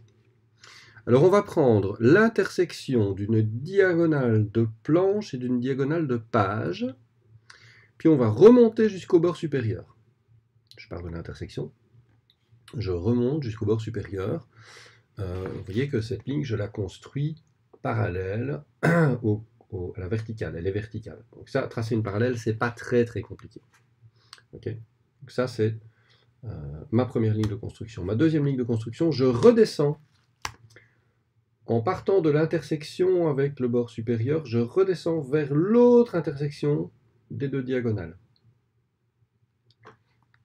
En faisant ça, je passe par ce point qui est intéressant, qui est l'intersection de ma deuxième ligne avec la diagonale de page que j'avais déjà utilisée. Et bien ça, c'est mon premier point pour les rectangles d'empagement. Je vais partir à l'horizontale, puis à la verticale, donc à l'horizontale jusque la prochaine diagonale que je rencontre, à la verticale jusqu'à la prochaine diagonale que je rencontre, puis je vais repartir à l'horizontale, partir de celui-là à la verticale, et j'obtiens un rectangle d'empagement. Voilà. Ce rectangle d'empagement est dans les proportions du rectangle d'empagement médiéval il est euh, dans une dimension dont les euh, proportions sont identiques à celles du format de papier, et pour cause, puisque les deux diagonales sont confondues.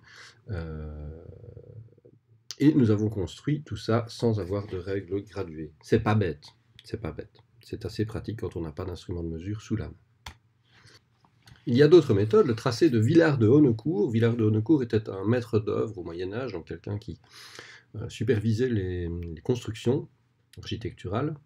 Un Villard de Honnecourt, on lui doit le tracé de division harmonieuse. Ça veut dire quoi? Ben, C'est-à-dire qu'il a trouvé lui aussi une méthode qui n'utilisait pas d'instrument de mesure pour diviser un rectangle, donc une page, euh, en subdivisions euh, de proportion égale à celle du, euh, du rectangle de base.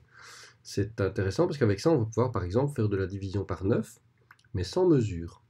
Faut savoir qu'au Moyen Âge, les bâtisseurs, par exemple, utilisaient très très peu de mesures. Il y avait peu de, plans avec des cotes, avec des, mesures exactes, peu de mesures, euh, peu de graduation, peu d'outils euh, étalonnés, etc. On faisait, faisait pas tout à l'œil, hein, il ne faut pas croire, ça c'est une légende de croire que les, compagnons bâtisseurs euh, construisaient les églises et les cathédrales à l'œil, mais par contre, ils utilisaient très peu des outils gradués. Alors, ils, faisaient, euh, ils employaient par exemple la corde à nœuds.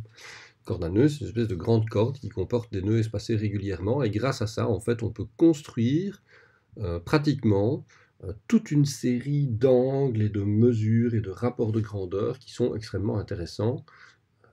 c'est des, trucs, des trucs d'ouvriers, mais qui servent évidemment pour la construction d'une manière qui est très, très efficace finalement, puisque on a quand même bâti grâce à ça des cathédrales qui font plus de 100 mètres de haut, donc c'était quand même pas rien. Voilà. Euh, le tracé de Villard de Honnecourt. Donc, euh, comment faire pour diviser un rectangle en rectangles plus petits qui ont la même proportion? Bien, on commence par tracer deux diagonales. La diagonale rouge va être ma diagonale maîtresse, c'est pour ça que je la mets en rouge, mais on n'est pas obligé d'utiliser la couleur, hein. on trace les deux diagonales. Alors, l'intersection des deux diagonales, elle produit quoi? Ben, Elle produit évidemment une division en deux. Ok Cette division en deux, j'en fais quoi? Ben, Ma feuille est divisée en deux, très très bien. Je vais remonter une diagonale jusqu'au coin supérieur droit. L'intersection de cette diagonale avec euh, ma première diagonale rouge va me donner un tiers. Si je remonte jusqu'au coin, ben, de nouveau, l'intersection avec ma diagonale rouge va me donner un quart, puis un cinquième, puis un sixième, etc tous ces rectangles, un demi, un tiers, un quart, etc., j'ai leur coin supérieur gauche, qui est le coin supérieur gauche de ma feuille. J'ai leur coin supérieur droit, qui est l'intersection de ma ligne de construction avec la diagonale rouge. Et donc, je peux tracer des rectangles. Par exemple, ici, un rectangle qui fait exactement un cinquième en largeur et en hauteur de mon rectangle de base. Si je le fais neuf fois, ben, je vais avoir... Euh, une division par 9, et la division par 9, je vous en ai déjà parlé, hein, c'est celle qui avait été retrouvée par Jan Sikold, euh, et qui a des proportions extrêmement intéressantes. Et donc, euh, alors la division par 9, euh, assez curieusement, c'est une méthode qui, que moi je trouve très convaincante sur des formats à l'italienne, donc des formats allongés, des formats horizontaux. sur des formats verticaux, elle produit souvent des grandes marges, pas toujours simples à utiliser, mais pourquoi pas? La méthode de division par 9, en fait, elle a comme grande vertu d'utiliser des proportions verticales et horizontales qui seront toujours des sous-multiples des dimensions verticales ou horizontales de la feuille. Ça, c'est intéressant. Par ailleurs, à gauche, donc la révision du canon de Van de Graaff par Jan Siekold, qui lui trouve des propriétés mathématiques très intéressantes. On peut construire un cercle inscrit dans le rectangle d'empagement dont la hauteur, donc la hauteur du rectangle d'empagement vaudra la largeur de la feuille, etc. Euh, etc.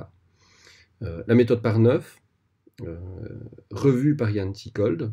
Alors, on peut faire de la division par neuf en calculant. Il suffit de mesurer la largeur de la page, la hauteur de la page, et puis avoir une règle graduée, etc. Mais on ne le fera jamais d'une manière aussi précise qu'avec une division géométrique.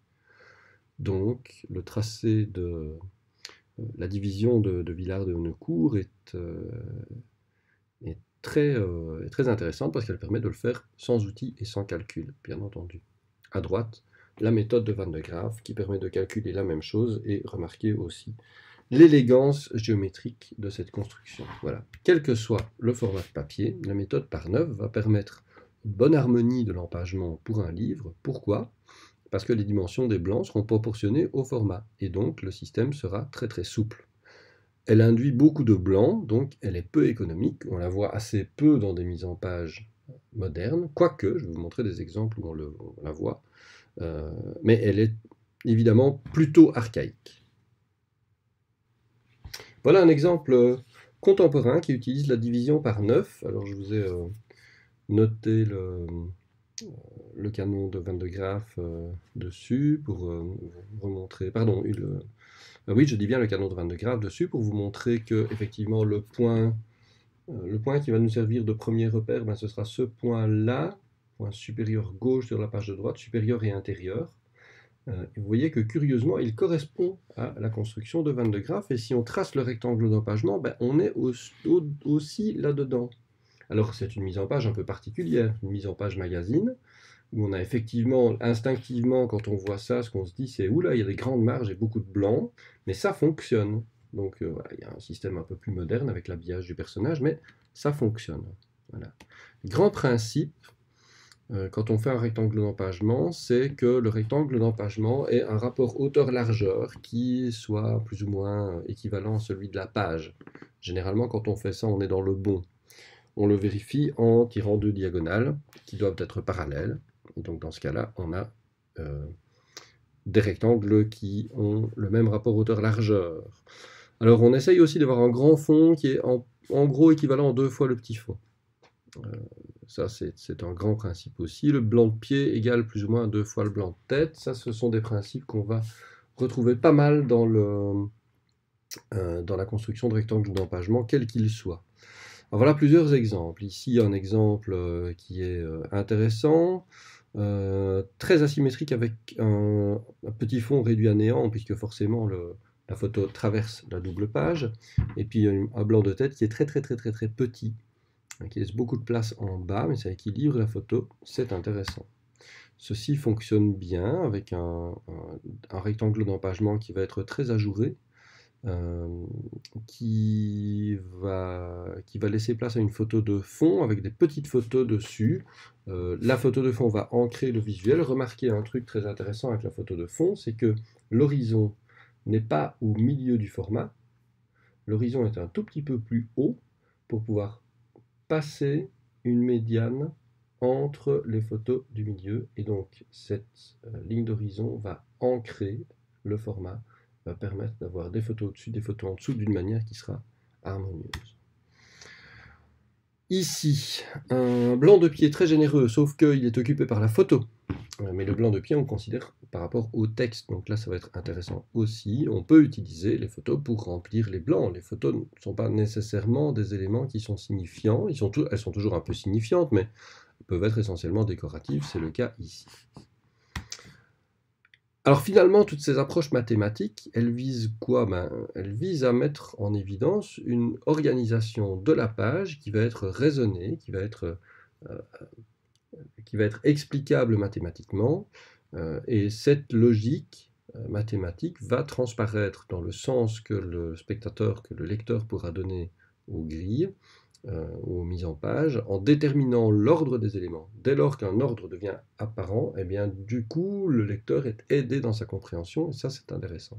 Au-delà des gabarits d'empagement, euh, qui sont utiles pour les livres, on va disposer aussi d'autres outils qui permettent d'organiser rationnellement les contenus, que ce soit sur un, un multipage, un objet qui comporte beaucoup de pages, et là on pourra utiliser un système qui deviendra carrément modulaire, on y reviendra, euh, mais on peut simplement utiliser une grille. Alors c'est quoi une grille? Ben, Une grille c'est un, euh, c'est un, élément qui va nous permettre de placer des éléments sur le format d'une manière simple, facile et juste. C'est un outil qui facilite le processus de décision du graphiste. Comme graphiste, on doit prendre des décisions, on doit décider où on place les éléments.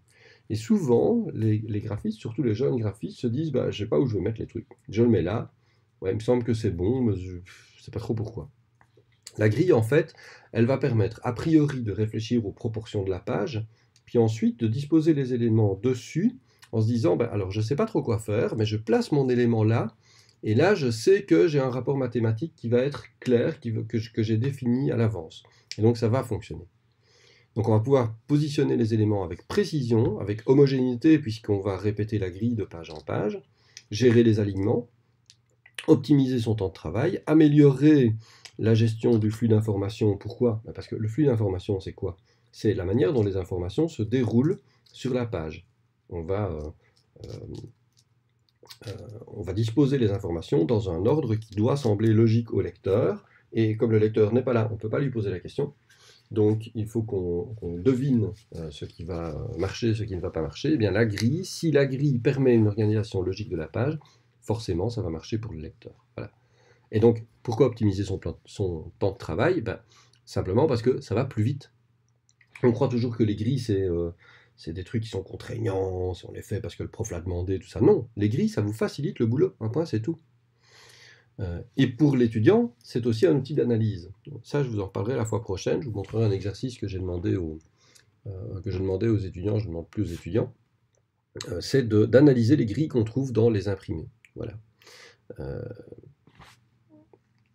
je vous montre des exemples. Un exemple qui est sur le web, un exemple d'un site web comme Anti-Zéro Communication. Il y a une grille, il y a en tout cas une division horizontale en colonne, les colonnes des rapports. Rappelez-vous ce que je vous ai dit en termes de rythme. 1, 1, 1, 1, 2, plus long, qui contient du texte.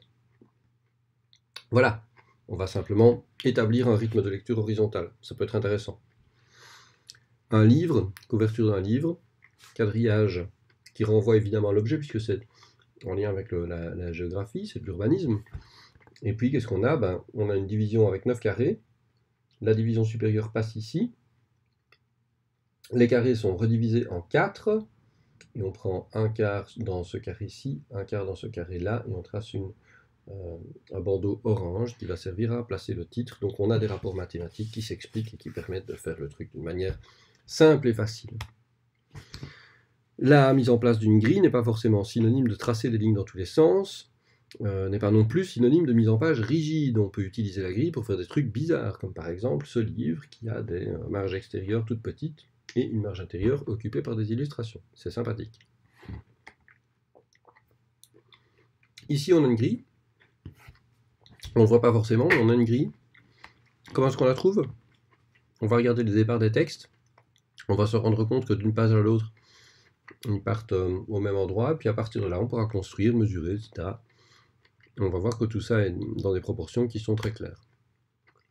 Ceci est intéressant parce qu'on a une page de gauche avec avec une photo, mais la photo est construite euh, d'une manière intéressante par rapport à la page de droite. Pourquoi? Parce qu'elle comporte un tiers blanc. Tiers blanc, c'est le tiers intérieur. La division qu'on voit sur la page de droite, elle est visible dans l'image, euh, parce qu'on a aussi une division entière sur la page de droite. Donc un tiers ici, une forme blanche qui va remonter, qui va, alors on a un sens de lecture qui va forcément faire remonter l'œil. L'œil va passer par les photos et puis lire le texte ici. Donc c'est bien parce qu'on va avoir une mise en page qui guide le regard. C'est vraiment intéressant. Ceci est intéressant aussi, avec des lignes qui vont passer à travers le, format qui vont dynamiter un petit peu la grille, et pourtant il y a une grille, une grille qui est même relativement rigide, avec un tiers, deux tiers avec des grandes colonnes, des grandes gouttières, pardon, qui vont permettre de donner un sens de lecture et de donner surtout un rythme qui sera syncopé. Euh, ça correspond un peu euh, à, la, musique de la page et c'est intéressant parce que on est dans du rock, donc dans quelque chose de syncopé et dans quelque chose qui, a besoin de rythme horizontal aussi. Magnum Photo, le site, c'est bizarre parce que le site de Magnum Photo, on s'attendrait à avoir de grandes photos partout. En fait, il n'en est rien. C'est un site qui comporte énormément de texte ce texte est structuré, ils utilisent un système de lecture qui n'est pas génial puisque c'est du gris clair sur gris foncé. C'est pas forcément ce qu'il y a de, de plus euh, lisible, euh, mais on a une mise en page qui est très structurée. C'est un peu à la manière d'un journal. Hein. Vous avez beaucoup de colonnes. Euh, vous avez cinq colonnes de texte, certaines séparées par des filets. et tout ça est vraiment très très très structuré, très structuré en blocs, un peu comme comme la maquette d'un quotidien. La maquette d'un quotidien, c'est toujours le prototype de l'imprimé qui utilise une grille. Hein. Euh, ça ne dispense pas de travailler sur la hiérarchie de l'information, donc sur le style des textes et de titres qu'on met dedans, mais on a forcément une grille. Pourquoi? Parce qu'on a un format qui est par, euh, euh, défaut plus grand que la normale. On n'a plus des journaux super grands aujourd'hui. Généralement, on a un format qui est tabloïd, euh, format tabloïd, ça veut dire qu'on va avoir 6 ou 7 colonnes maximum. Avant, on pouvait avoir jusqu'à 12 colonnes dans un format de journal. C'était très très grand. C'était pas facile à lire, donc euh, c'est pour ça, c'est pour la facilité de lecture qu'on a diminué. Et euh, aujourd'hui, on, a des maquettes qui sont généralement sur 6 colonnes. Alors, je vais pas passer tout en revue parce que sur les couvertures particulièrement, c'est très, compliqué une couverture de quotidien. il, y a plein, plein d'accessoires, il y a plein d'autres choses, mais je vous invite vraiment à analyser ça par vous-même, à voir comment on place les titres, quelle importance typographique ont les titres, combien de colonnes ils font et, euh, tout ça. Euh, c'est intéressant. Mise en page de magazine, Télépro sur la gauche, Trends Tendance sur la droite. Vous voyez que dans un magazine un peu plus un peu plus léger, un peu plus rock'n'roll comme euh, Télépro, on va avoir tendance à avoir Parfois, comme dans Télépro, une mise en page qui sera très structurée en colonnes. On a 5 colonnes sur un petit format. Télépro, c'est à peine plus grand qu'un A4. Hein. Donc, euh, euh, c'est pas très très grand comme format. Et on a quand même 5 colonnes. Mais généralement, dans les mises en page Télépro, on va avoir des fonds de page en couleur. Ça, c'est intéressant. Des encadrés dans le bas. Et puis des photos. En général, la mise en page de, de Télépro, elle tient sur les photos. Hein. C'est-à-dire que regardez ici le, le détourage et l'habillage du personnage. Ce que j'appelle habillage, ben, habillage, c'est quand le texte, ici, euh, va épouser le contour de la forme euh, d'une photo.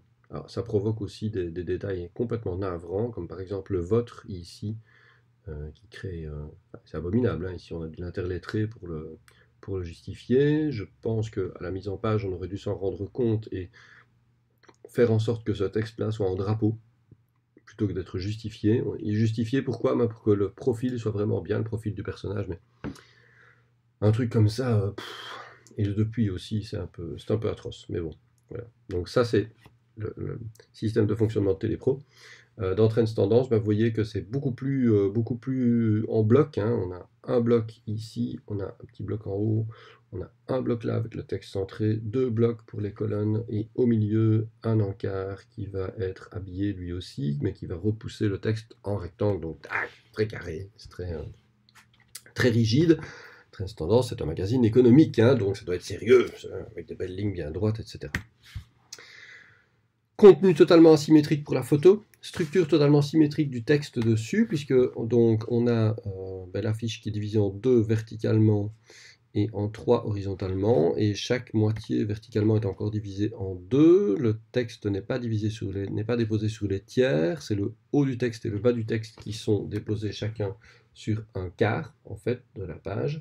Puis on a ce bandeau au milieu euh, qui va découper la page en deux. C'est intéressant parce que ça fait un, contrepoint sur l'image qui elle est complètement asymétrique. Pas tout à fait asymétrique puisque vous avez un élément symétrique qui est le, qui est le, rond, la boule, mais par contre, la composition est asymétrique. Voilà. Ici, la page qui va emmener à l'horizontale avec un blanc de tête qui va être à peu près identique dans les deux cas. Euh, et euh, l'image est une accroche qui va être placée dans la zone où l'œil va débuter la lecture, va inviter à la lecture vers la droite. L'orientation du meuble dans la photo va bien entendu amplifier ce mouvement. La règle des tiers, je vous en reparle parce que c'est une règle de composition qui est très classique.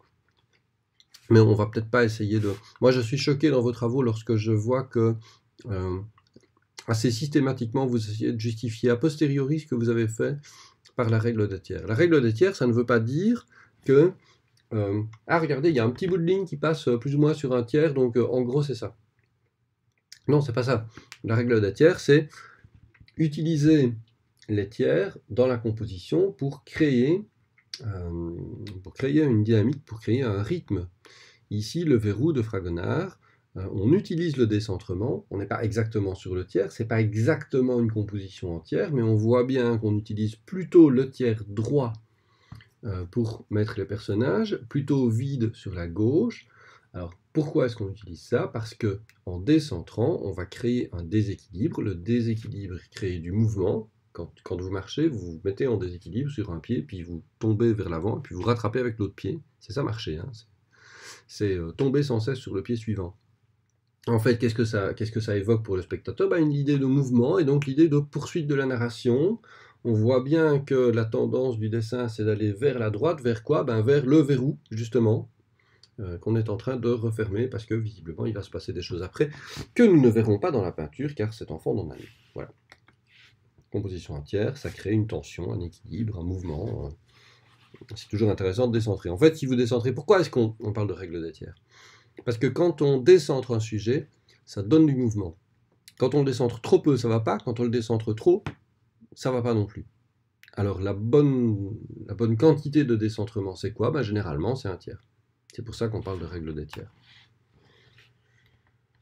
Ici, on va jouer sur l'espace négatif, ce qui n'est pas utilisé sur la gauche, pour décaler les personnages vers la droite. Pourquoi est-ce que je marque le tiers entre les deux personnages? Parce que c'est un groupe, les deux personnages. Le centre du groupe est sur le tiers de droite.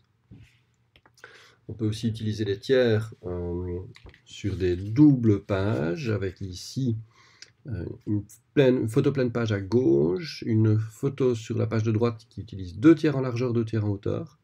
La dynamique va venir de l'enchaînement des regards. La grande photo, petite photo, le texte entre les deux. Euh, voilà, ça peut fonctionner comme ça. Ici, on va jouer sur la taille des images. On est un peu timide à droite. Euh, à gauche, et puis petit à petit on avance, donc on se rapproche, donc la photo grandit, on affirme le regard, on affirme le produit. Euh, ce rapport de taille va donner plus de poids à l'image de droite. Vous remarquez aussi que l'image de droite est une image qui semble plus, plus finie, plus aboutie que l'image de gauche. Regardez le regard du mannequin qui regarde l'objectif, son attitude généralement, et l'éclairage qui est meilleur sur la photo de droite. Donc on a un peu la progression de gauche à droite. On lit de gauche à droite, hein. c'est pas possible de le faire dans l'autre sens, on lit de gauche à droite. Euh, et, le, et euh, on va du plus petit au plus grand. Et on arrive à la photo aboutie. Les grilles à colonnes. Grilles à colonnes, ben, l'empagement médiéval comporte deux colonnes. Alors les colonnes, je vous ai euh, expliqué déjà,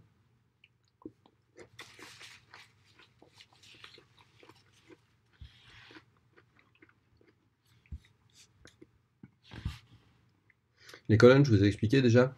Euh, l'idée est de pouvoir mettre plus de texte sur une page en gardant des tailles de texte plus raisonnables.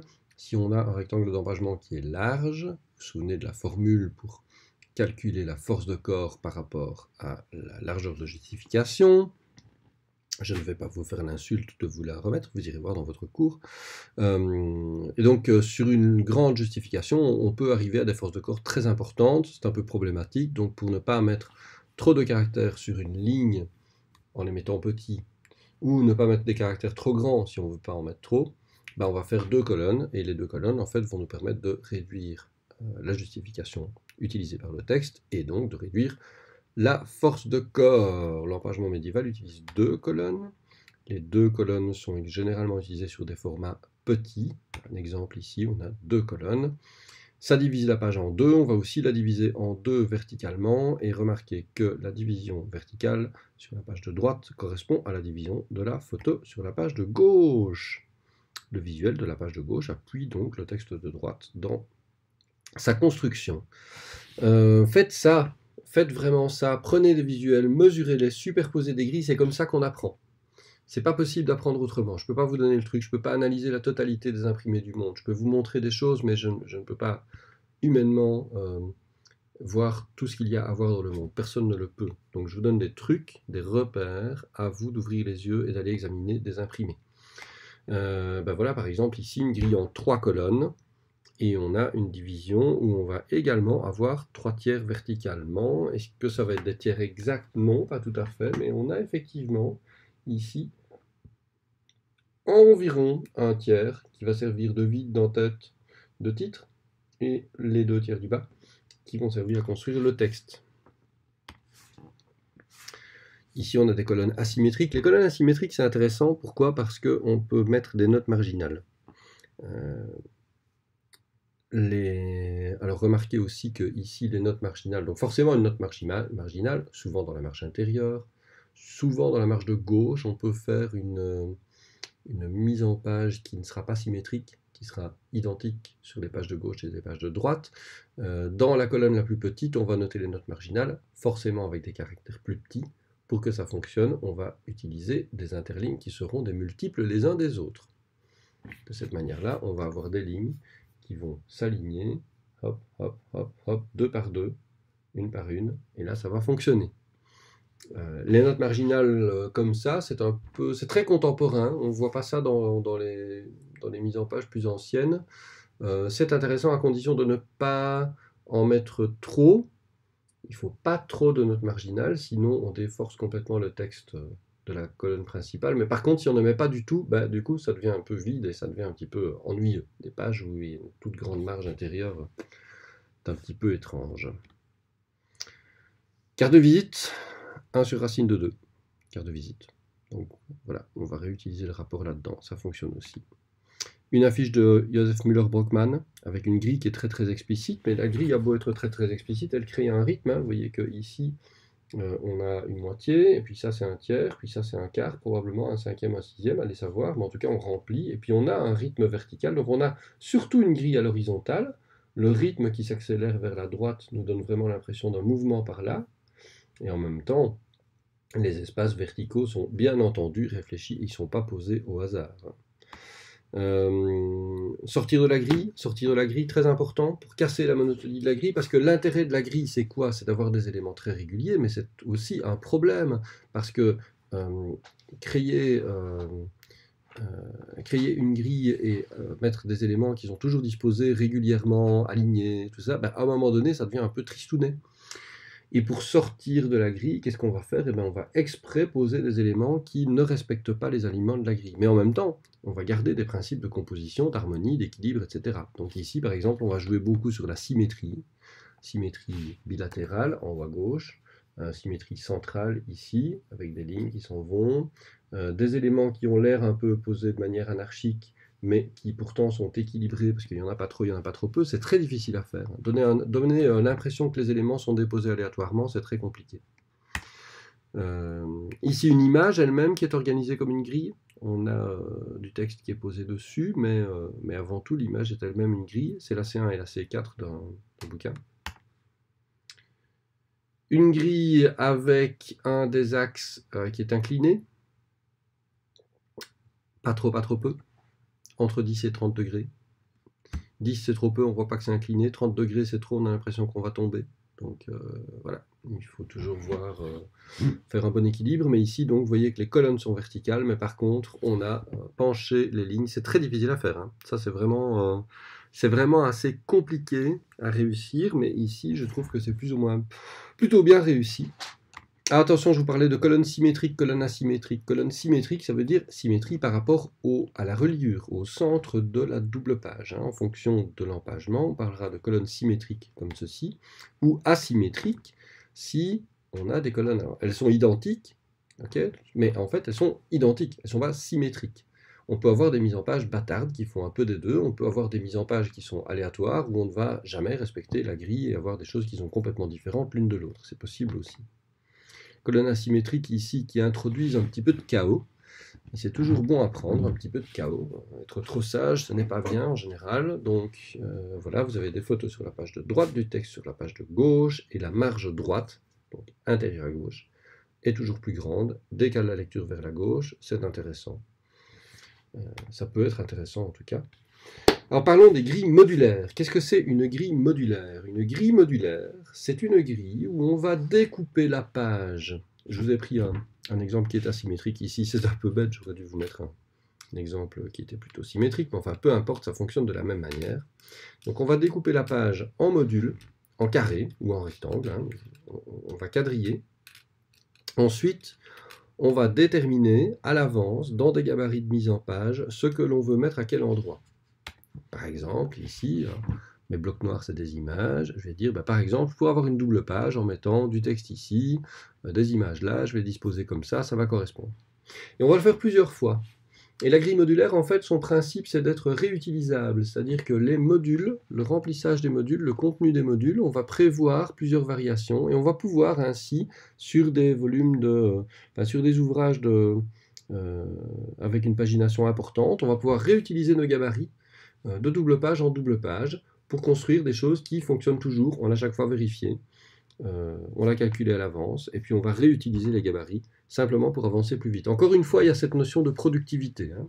La productivité est importante, la grille vous permet d'aller plus vite. Si vous l'utilisez correctement, c'est un petit peu contraignant au début, mais une fois que vous l'avez placé correctement, ça va vous faire gagner un temps fou pour vos mises en page. Quand vous serez euh, en deuxième année, si vous êtes en design graphique, euh, ben, je vous ferai faire des exercices de mise en page où on aura des imprimés très longs, de parfois plusieurs centaines de pages, euh, et si vous n'utilisez pas des gabarits de mise en page, si vous n'êtes pas efficace dans votre mise en page avec ça, mais aussi avec les feuilles de style, etc., ben vous n'arriverez pas à faire 300 pages. C'est humainement pas faisable. Grille modulaire asymétrique, donc avec marge intérieure euh, asymétrique entre les pages de gauche et les pages de droite. Pourquoi est-ce que je sais que c'est modulaire? Bah, Parce que je vois bien la manière dont on pourrait faire d'autres variations euh, sur euh, le thème de ces pages-là, dans, les pages suivantes. Qui modulaire simple ici, avec beaucoup de photos, avec beaucoup d'éléments visuels. Euh, il y a un truc aussi à savoir avec les lignes de base et les hauteurs de capital. le problème, c'est que euh, pour aligner une image sur du texte, le dessus de l'image doit être aligné non pas sur une ligne de base de texte, mais sur la hauteur de capitale, parce que c'est le point le plus haut du texte, donc hors talus. Attention, c'est important, puisque le talus est encore au-dessus de ça. Et donc on doit aligner la hauteur des capitales. Mais le bas de l'image, lui, doit être aligné sur un interligne. Donc comment construire les lignes de base du texte pour que ça s'aligne correctement sur la grille, surtout ça remplisse les blocs jusqu'en bas, euh, et que ça tombe juste, surtout. Hein. il va falloir ajuster les, euh, les, interlignes. Pour ça, il y a une petite application qui s'appelle Gridlicious, qui va permettre de calculer des valeurs exactes pour les pas de grille de base, en fonction des décalages entre les hauteurs de capital et les lignes de base, euh, et qui pourra résoudre bien des problèmes d'alignement. Bon, généralement, généralement, on ne fait pas un travail aussi minutieux. Hein. C'est rare qu'on fasse un travail aussi minutieux. Mais il peut s'avérer utile et important euh, d'avoir des euh, pas de grille qui soient très exacts et des interlignes qui soient très exacts pour avoir justement euh, des textes qui rentrent bien dans les grilles qu'on leur donne. Je vous montre un petit film qui a été fait par M. Villain qui vous explique le fonctionnement de Gridlicious et ben voilà, comment, utiliser Gridlicious pour construire correctement des grilles dans InDesign.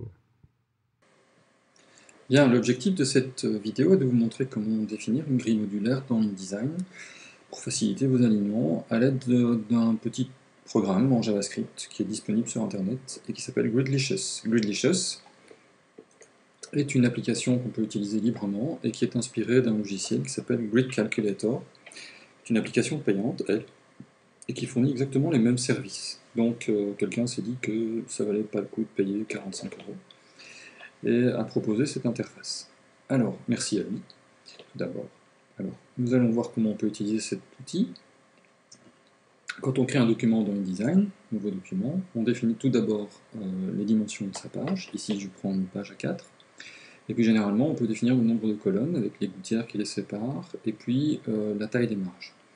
Inconvénient de cette méthode, on a souvent du mal euh, à définir la page en termes de modules. On part de l'extérieur, des grandes dimensions, pour aller vers les petites dimensions.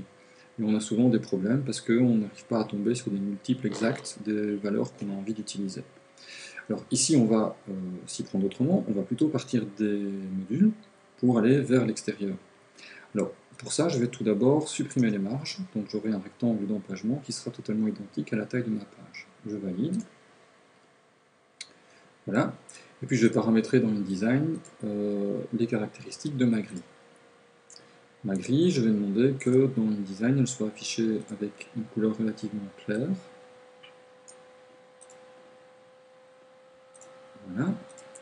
Puis je peux paramétrer euh, différentes choses. Tout d'abord la grille de ligne de base, qui est celle sur laquelle va reposer le texte au fur et à mesure. Je vais demander qu'il commence en 0 par rapport au haut de la page.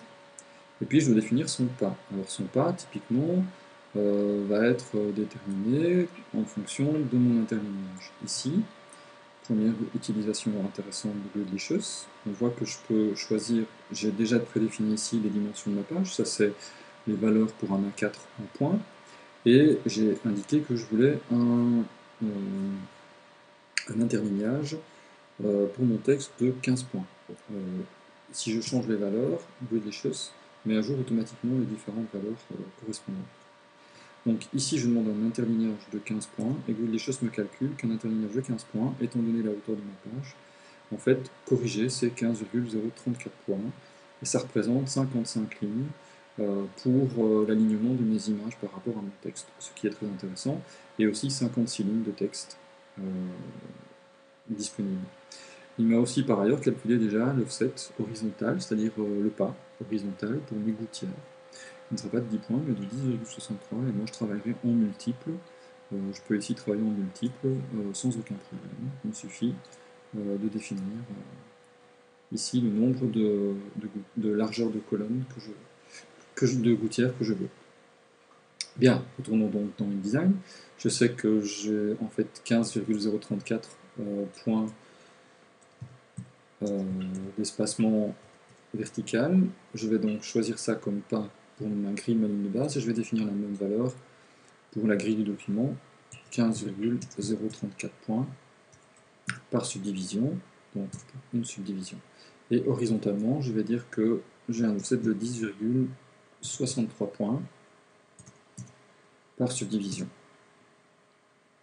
Je valide, j'affiche ma grille,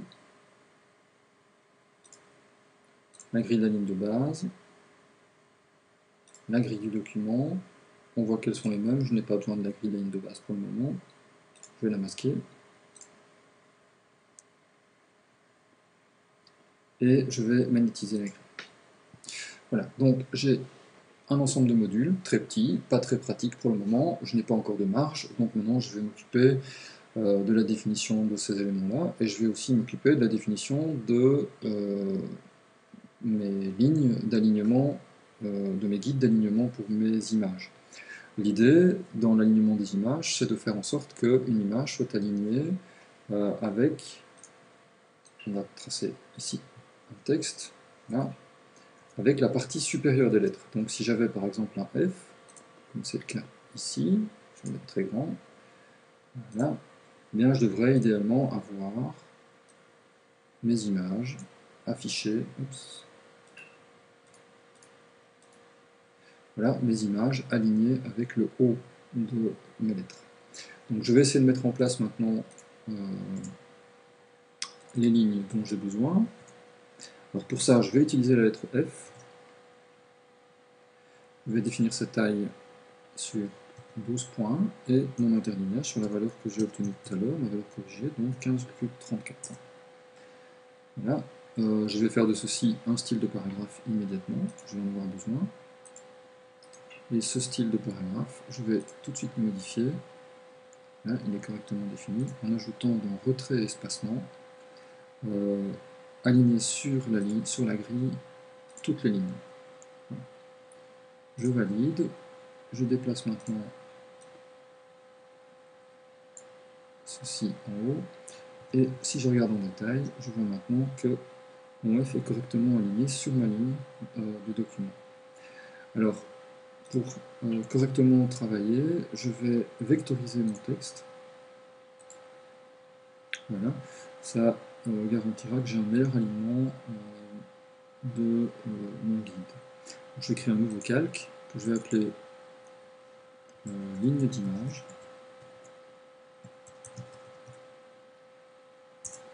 Ok, je descends en guide, que j'aligne sur le haut. Voilà. Alors je sélectionne ce guide, je demande d'exécuter la même opération et de la répéter. Alors je vais espacer de la même, du même espacement que la valeur qui m'a été donnée ici, donc 15,034.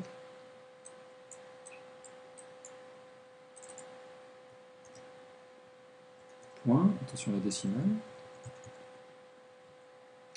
Bien.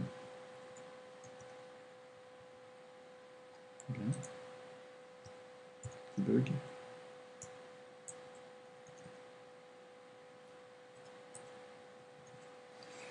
Il est embêté par le point, donc je vais l'écrire à main, 15,034, voilà, point.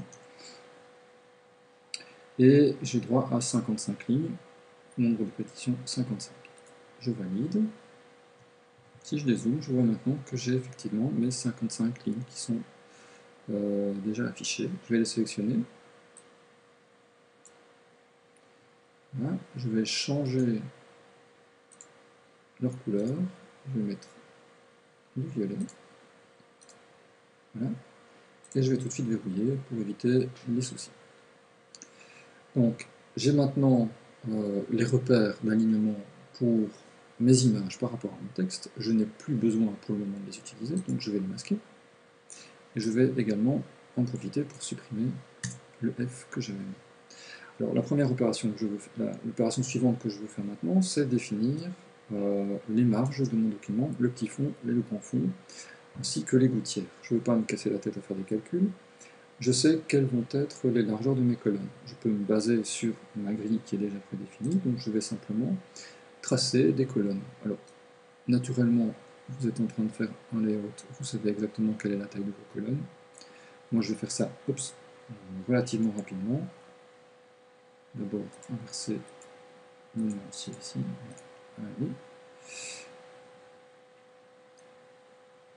Donc, moi, je vais définir la largeur de mes colonnes sans trop regarder.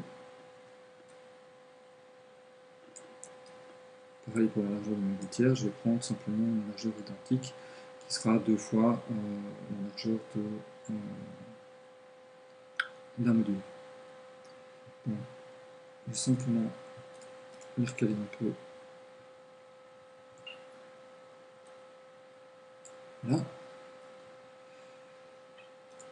Donc maintenant que j'ai ces éléments-là, je vais définir mes marches. Comment définir mes marches bah, C'est très simple, je continue de dessiner des petits carrés en tout cas des petits rectangles. Voilà. Je peux avec ceci connaître la largeur de ma marge euh, du petit fond. Je sélectionne la largeur de ce rectangle. Et dans marge et colonne, je modifie pour le petit fond la valeur. La marge de petit fond est définie. Je fais pareil de l'autre côté.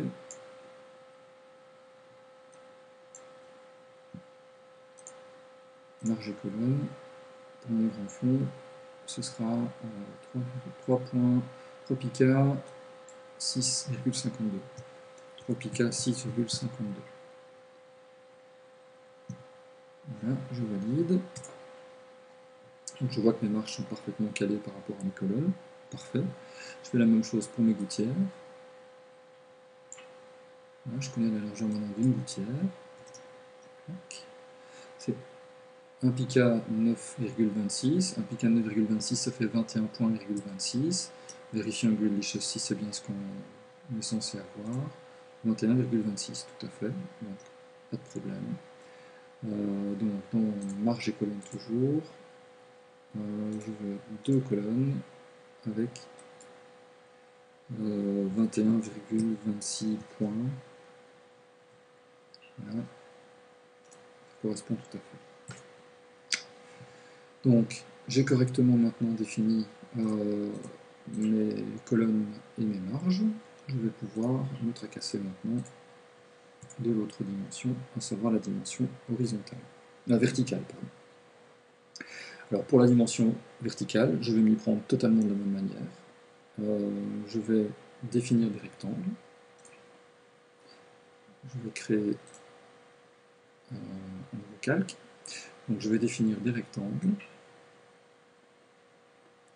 Alors ce qui est important avec les rectangles, c'est qu'ils soient alignés avec le haut sur la ligne des images. Ah, la ligne des images n'est pas correcte. Si, la ligne des images est correcte. Donc je vais m'aligner sur le haut avec la ligne des images. Et sur le bas avec la ligne de base, ligne du document. Donc maintenant, je multiplie les modules en gardant un espacement identique à chaque fois.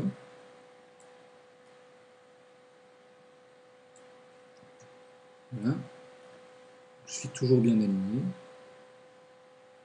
Et je vais donc pouvoir travailler de la même manière que tout à l'heure, à savoir tout d'abord pour définir euh, la taille de mon blanc de tête. Je vais prendre un petit rectangle, donc je prends la hauteur, je recopie la valeur dans la marge de tête, je valide, puis je prends ce petit rectangle, je le déplace en bas,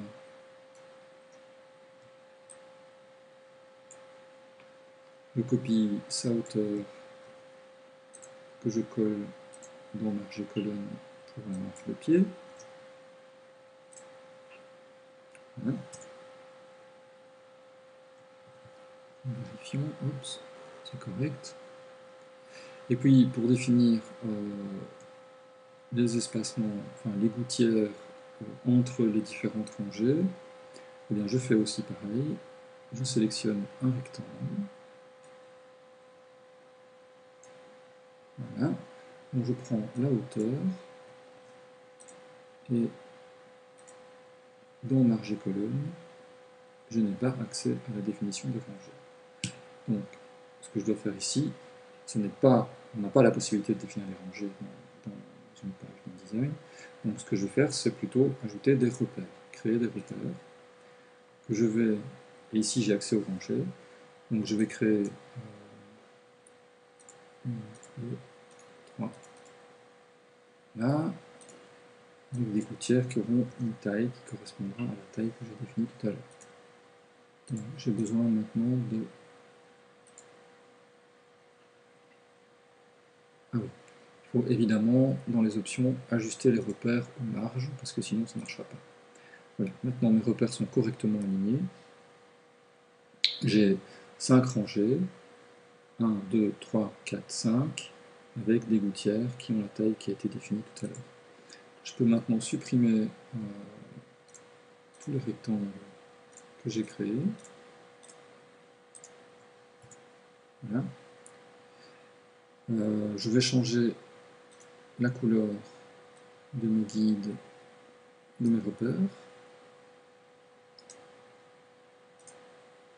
Les mettre en rouge. Orange, voilà. je sais bien. Et verrouiller ce calque-là également. Donc maintenant, j'ai accès à tous mes éléments euh, d'alignement. Ils sont bel et bien présents. Je reconnais mes gouttières, je reconnais mes gouttières horizontales, mes gouttières verticales, donc j'ai mes modules qui sont euh, placés ici. Imaginons maintenant que je vais faire une petite mise en page. je vais sur le premier calque, voilà. Je vais définir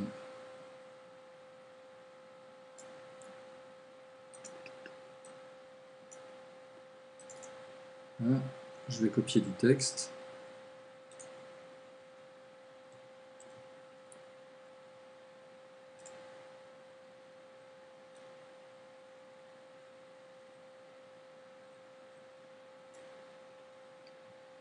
auquel je vais appliquer le style de paragraphe que j'ai défini tout à l'heure.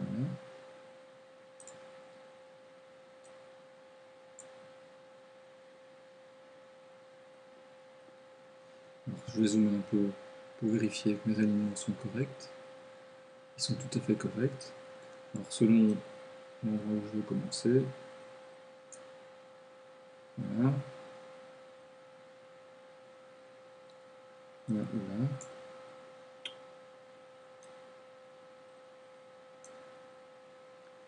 Et j'ai maintenant la possibilité de placer des images. Je vais évidemment juste tracer un rectangle.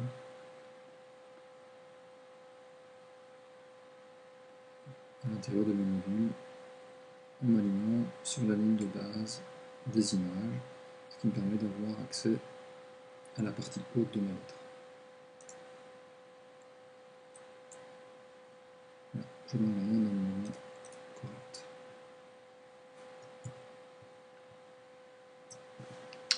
Voilà. Voilà, ça peut paraître un peu euh, un peu pointilleux, cette histoire de gestion d'espaces verticaux, ça ne l'est pas, dans le sens où quand on a un bloc qui ne remplit pas, un bloc de texte qui ne remplit pas son espace vertical, s'il est placé à côté de, blocs d'images de même hauteur qui, eux, par définition, remplissent tout leur espace vertical, bah, forcément on casse la grille. Et donc ça ne fonctionne pas. Donc il faut être très attentif à cette problématique euh, de, de ligne de base euh, et de multiples des lignes de base pour les stops de euh, grilles de mise en page. Voilà. Alors quelques exemples pour finir avec des, grilles apparentes. Généralement la grille est apparente. Qu'est-ce que j'appelle une grille apparente? Ben, On la voit. On, peut euh, immédiatement voir, par exemple ici dans la découpe de la photo, bien, on voit bien que ici on a la reprise de la largeur de colonne. Donc euh, ben voilà, on se rend bien compte que la grille est ici, et puis après, euh, verticalement c'est peut-être un peu plus compliqué, mais horizontalement elle est très matérielle. Euh, elle peut être apparente aussi à cause des filets, ça peut fonctionner aussi. Elle peut être apparente à cause de, de, la mise en page elle-même, qui va elle-même utiliser des blocs dans les cases de la grille. Donc ici on voit très très bien la grille. On joue avec, d'ailleurs, avec les mains du personnage qui passe devant la grille. Ici, bon, ben, je suppose que voilà, c'est vraiment, c'est vraiment très lourd, mais je suppose que je n'ai pas besoin spécialement de vous l'expliquer. Alors, je veux vous passer aussi un générique d'une série télé qui s'appelle euh, Life on Mars. Euh, et qui, est une série anglaise des années 80 où le principe du générique euh, repose sur la notion de grille et je vous le passe, je vous le commente ensuite.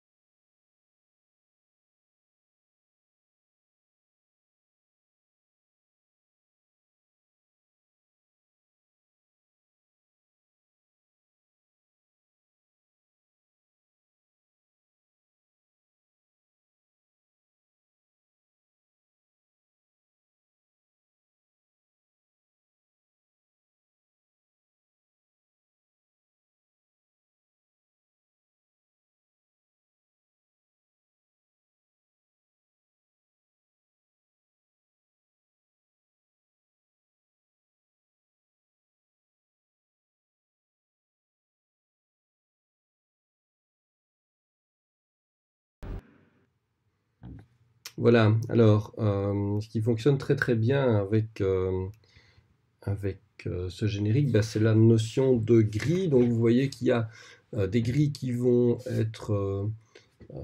une grille qui va rétrécir. On va utiliser la grille pour placer des, éléments de texte. On va utiliser la grille pour faire un jeu sur la narration, hein, puisqu'on a, par exemple, bah, vous le voyez bien dans cette image-ci, on a le différentes images, une même image reprise avec un léger décalage euh, dans, le sens de lecture, donc euh, de là à là et puis de là à là. C'est chaque fois la même image, mais on est un cran plus loin, et puis elles vont être animées. Euh, alors, il y a un truc intéressant parce que la proportion des grilles à l'écran euh, c'est du 16 neuvième, c'est la même proportion que l'écran, mais en fait ça n'a pas beaucoup d'importance parce que un écran de télévision ne se comporte pas comme une page. Une page, on a très fort la sensation d'un espace limité parce que c'est un objet qui est petit en face de nous et qui n'occupe pas tout notre champ de vision. télévision n'occupe pas tout notre champ de vision non plus, mais l'identification primaire au dispositif, donc le fait de, nous considérons l'image que la caméra nous montre comme une image montrée par notre œil. Donc nous nous immergeons dans cette image, qui fait que nous en perdons les limites, surtout avec une image 16 neuvième qui correspond mieux à notre champ de vision naturel. Mais on a tendance à faire abstraction de ce qui est hors de l'image. Donc l'image n'est pas un format fermé, n'est pas limité. On, voit l'image comme infinie. Donc le fait que euh, on joue avec le format de l'écran n'est peut-être pas aussi important que ce qu'il serait avec euh, du mais donc on va jouer avec ça, euh, on va créer. Alors on peut faire plein de références hein, à, la, bande dessinée, euh, euh, la mise en page modulaire ou quoi, mais effectivement ici donc on a une grille, elle est animée, elle va servir dans son contenu, mais aussi pour organiser les éléments extérieurs textuels. Donc un générique qui est fort, fort intéressant. La série n'est pas mal, mais elle est un petit peu, un petit peu répétitive et puis bon, je pense qu'elle est un peu datée aussi parce que bon, l'air de rien une série euh, qui date des années euh, ouf, 80, 90, je pense, qui projette un personnage dans les années 70. Bon, euh, on doit bien admettre que tout ça est un peu loin de nous et que les, décalages culturels ne fonctionnent pas tout à fait comme il aurait dû fonctionner à l'époque avec la série. Mais enfin, peu importe. Voilà. Il apparente aussi, bah, ici dans un magasin de chaussures, on peut le faire avec des mises en forme de, euh, de vitrine, ça fonctionne aussi, euh, qui est apparente simplement parce qu'on va avoir une disposition régulière de tous les éléments, ça va quadriller, ça va faire une grille, euh, c'est intéressant aussi. Encore une affiche de Joseph Müller-Brockmann, qui a fait beaucoup d'affiches pour la Philharmonie, je crois que c'est de Berlin, de, Munich, je ne sais, plus très bien où. Enfin, il a fait beaucoup d'affiches musique. on crée des axes, on fait une mise en page qui est axiale avec un décalage à 30 degrés. Euh, on bouscule donc la rationalité de la grille avec le mouvement de l'inclinaison. Aujourd'hui, c'est quelque chose qui est relativement classique et qui ne, casse pas trop pattes à un canard, mais qui est quand même très très intéressant. Euh, on a ici une affiche d'Emile Ruder euh, qui est intéressante aussi et qui repose elle sur un décalage. Alors du coup à 45 degrés, je vous avais dit entre 10 et 30, bah voilà une exception. Ici ça fonctionne, un décalage à 45 degrés. Fonctionne ici aussi avec la vache, avec un centre de l'affiche qui est utilisé pour euh, placer une diagonale sur la face de la vache et puis une autre diagonale avec le texte et donc provoquer un espèce d'effet d'explosion, ici un effet centrifuge par rapport à cet emplacement-là. Ça fonctionne. Les axes sont importants quand on fait de la mise en page de manière décalée. Euh, pas nécessairement avec une grille, quoi qu'ici on pourrait analyser ça en termes de grille, mais ce qui est intéressant ici c'est l'axe et puis le rapport de taille entre les objets, hein. petit objet à l'arrière-plan fuyant et en même temps un grand objet menaçant à l'avant-plan, qui ne nous menace pas nous mais le personnage. Euh, intéressant aussi, ici on est dans un rapport euh, un peu le même genre, mais un petit peu décalé, puisqu'on a la voiture qui est plus petite que le cycliste le cycliste qui fait un signe, la voiture qui fait un signe, ça se répond, et en même temps, on a une inclinaison, qui est ici d'une quinzaine de degrés. L'inclinaison, il faut la manipuler avec soin. Euh, ici, c'est extrêmement bien fait, je trouve, hein, parce que vous avez cette inclinaison de l'italique, ici, qui va être reprise pour le bord du bloc là-bas, et aussi pour le bord du bloc au-dessus, ce qui crée un axe, en fait, comme ça, euh, sur la fiche, qui correspond, enfin, qui répond à l'axe horizontal. Ça fonctionne. Euh, si vous mesurez ici l'intersection des deux axes, je suis persuadé que vous allez trouver des choses intéressantes. Les axes ici, ben, simplement avec du texte. Je ne vais pas non plus y revenir pendant 100 000 ans. Euh, construire les axes est toujours extrêmement important, même si on n'a pas une construction entière, même si on n'a pas une grille qui est parfaitement régulière. Les axes sont ce qui va emmener le regard du lecteur d'un endroit à un autre. Regardez ici comment ça se passe avec cette affiche euh, pour, euh, donc à propos de football et donc les axes des personnages. On a l'impression que c'est fait au hasard et en fait pas du tout. C'est pas fait au hasard. En réalité, ça se répond, c'est euh, très organisé et ça va nous entraîner dans la lecture du texte. C'est intéressant aussi. La juxtaposition des éléments dans le format va aussi créer des rapports de taille, de force, des axes, des grilles. Ici, une division dans un axe horizontal, donc deux moitiés verticalement. Euh, avec des formes qui se répondent, hein, la langue le repasser. Euh, contraste d'échelle, petit objet, grande photo. Euh, grille implicite, qu'est-ce qu'on appelle une grille implicite? C'est-à-dire qu'on n'a aucun moyen de euh, de voir la grille, en tout cas de déduire l'existence d'une grille de ce qu'on voit. Alors on imagine bien qu'il y a une grille, mais on voit bien aussi qu'elle n'est pas spécialement euh, euh, explicite, c'est-à-dire qu'il n'y a pas d'élément graphique qui nous la rappelle. Par contre, ce qu'on voit, c'est qu'on a une régularité dans le rythme vertical et que ceci implique qu'il y ait une grille. Voilà, mais il n'y en a pas, il n'y a, pas une photo qui rappelle des, des, dispositifs graphiques qui vont revenir pour rappeler le truc. Sans grille explicite aussi, euh, peut-être pour, euh, euh, pour en finir avec la grille, hein, puisqu'on a ici des choses qui ont l'air d'être beaucoup plus aléatoires, mais néanmoins une structure forte. C'est l'interaction du texte avec les éléments graphiques qui va donner la structure de ça. Ce n'est pas les alignements qui vont faire la dynamique ici, c'est vraiment les rapports de surface avec des nuances de gris qui sont vraiment très finement calculées. et c'est vraiment pas feu hasard. Ceci est extrêmement difficile à faire. Surtout si vous commencez à utiliser des couleurs et euh, du texte mélangé au texte. Euh, ici, je trouve ça très réussi, ça fonctionne vraiment bien, mais c'est quand même euh, très compliqué, très compliqué à réussir. Il faut beaucoup d'expérience pour arriver à ce que ce soit réellement équilibré et intéressant. Idem encore. ici, on a, c'est plus, plus artistique. Hein. Voilà, on a. Ne pas oublier ne pas oublier l'impact émotionnel de la typographie. Toute typographie, toute communication euh, sous forme de lettres va avoir un impact émotionnel nécessairement à cause de l'interprétation des mots, mais à cause de la police. Et donc quand on fait une mise en page qui utilise beaucoup de police, eh bien forcément on, multiplie les, les types d'impact émotionnel et c'est très difficile à équilibrer. C'est très très compliqué. Alors, dernière petite remarque sur ce qui doit se trouver dans l'empagement, ce qui ne doit pas s'y trouver. Les titres courants, ne doivent pas se trouver dans le rectangle d'empagement. Titre grand, c'est quoi? C'est le rappel du titre du chapitre en haut de page ou en bas de page. Le folio, c'est le numéro de la page. Ne pas confondre numéro de page et folio. Une page qui est numérotée, elle a un numéro. Et pas forcément affiché ce numéro. Si on affiche le numéro, alors ce nombre qu'on va écrire quelque part sur la, sur la page s'appelle un folio. Le folio est l'expression graphique du numéro de page. Voilà. Puis on peut voir d'autres éléments graphiques qui seront hors de l'empagement. Euh, et tout ça peut être facilement supprimé pour éviter la concurrence avec les autres fonctions de la page. Donc par exemple, si on a une photo pleine page, généralement on va supprimer le folio euh, pour euh, dégager la vue de, cette photo. Je ne vais pas revenir avec vous sur le, les éléments euh, annexes, euh, page de carte, page de titre de faux, titre de chapitre, etc. On a déjà vu ça l'autre fois. Alors l'emplacement des numéros de page, ben, numéro de page, son emplacement naturel, traditionnel, c'est dans le blanc de pied au milieu. Ça, c'est typiquement ce qu'on fait dans un manuscrit médiéval. Mais bon, nous, on a plus l'habitude de le voir sur l'extérieur. Alors sur l'extérieur, c'est un peu bizarre, mais, euh, ça fonctionne aussi. Mais pourquoi est-ce qu'on ne le mettait pas là euh, au Moyen Âge? Ben Parce que la partie extérieure du blanc de pied sert à tourner la page. Donc si on ne veut pas à chaque fois repasser avec un pouce de préférence mouillé, bien entendu, euh, et, éliminer le numéro de page, ben, il faut qu'il soit ailleurs. Mais effectivement, pour nous qui avons des encres qui tiennent le coup, ça paraît logique de le mettre là-bas. On peut le mettre ailleurs, hein. on peut le mettre tout à fait dans le bas. Bon, c'est parfois un peu bizarre. Attention au au bord perdu à la marge intérieure si vous faites ça. On peut le mettre dans le petit fond, ça peut être original. Dans le grand fond, ça marche mieux.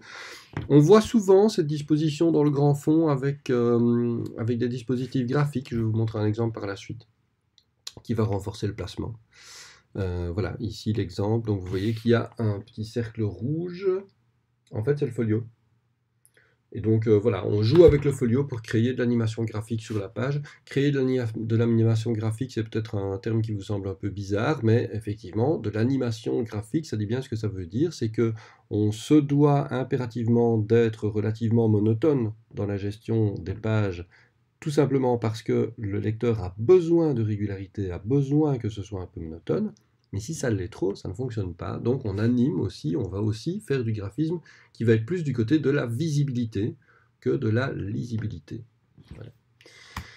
Numéro de page ici euh, assez classique en tête, euh, uniquement sur les pages de droite. Vous remarquez que sur les pages de gauche, euh, il n'y a pas de folio, le titre courant est aligné à gauche.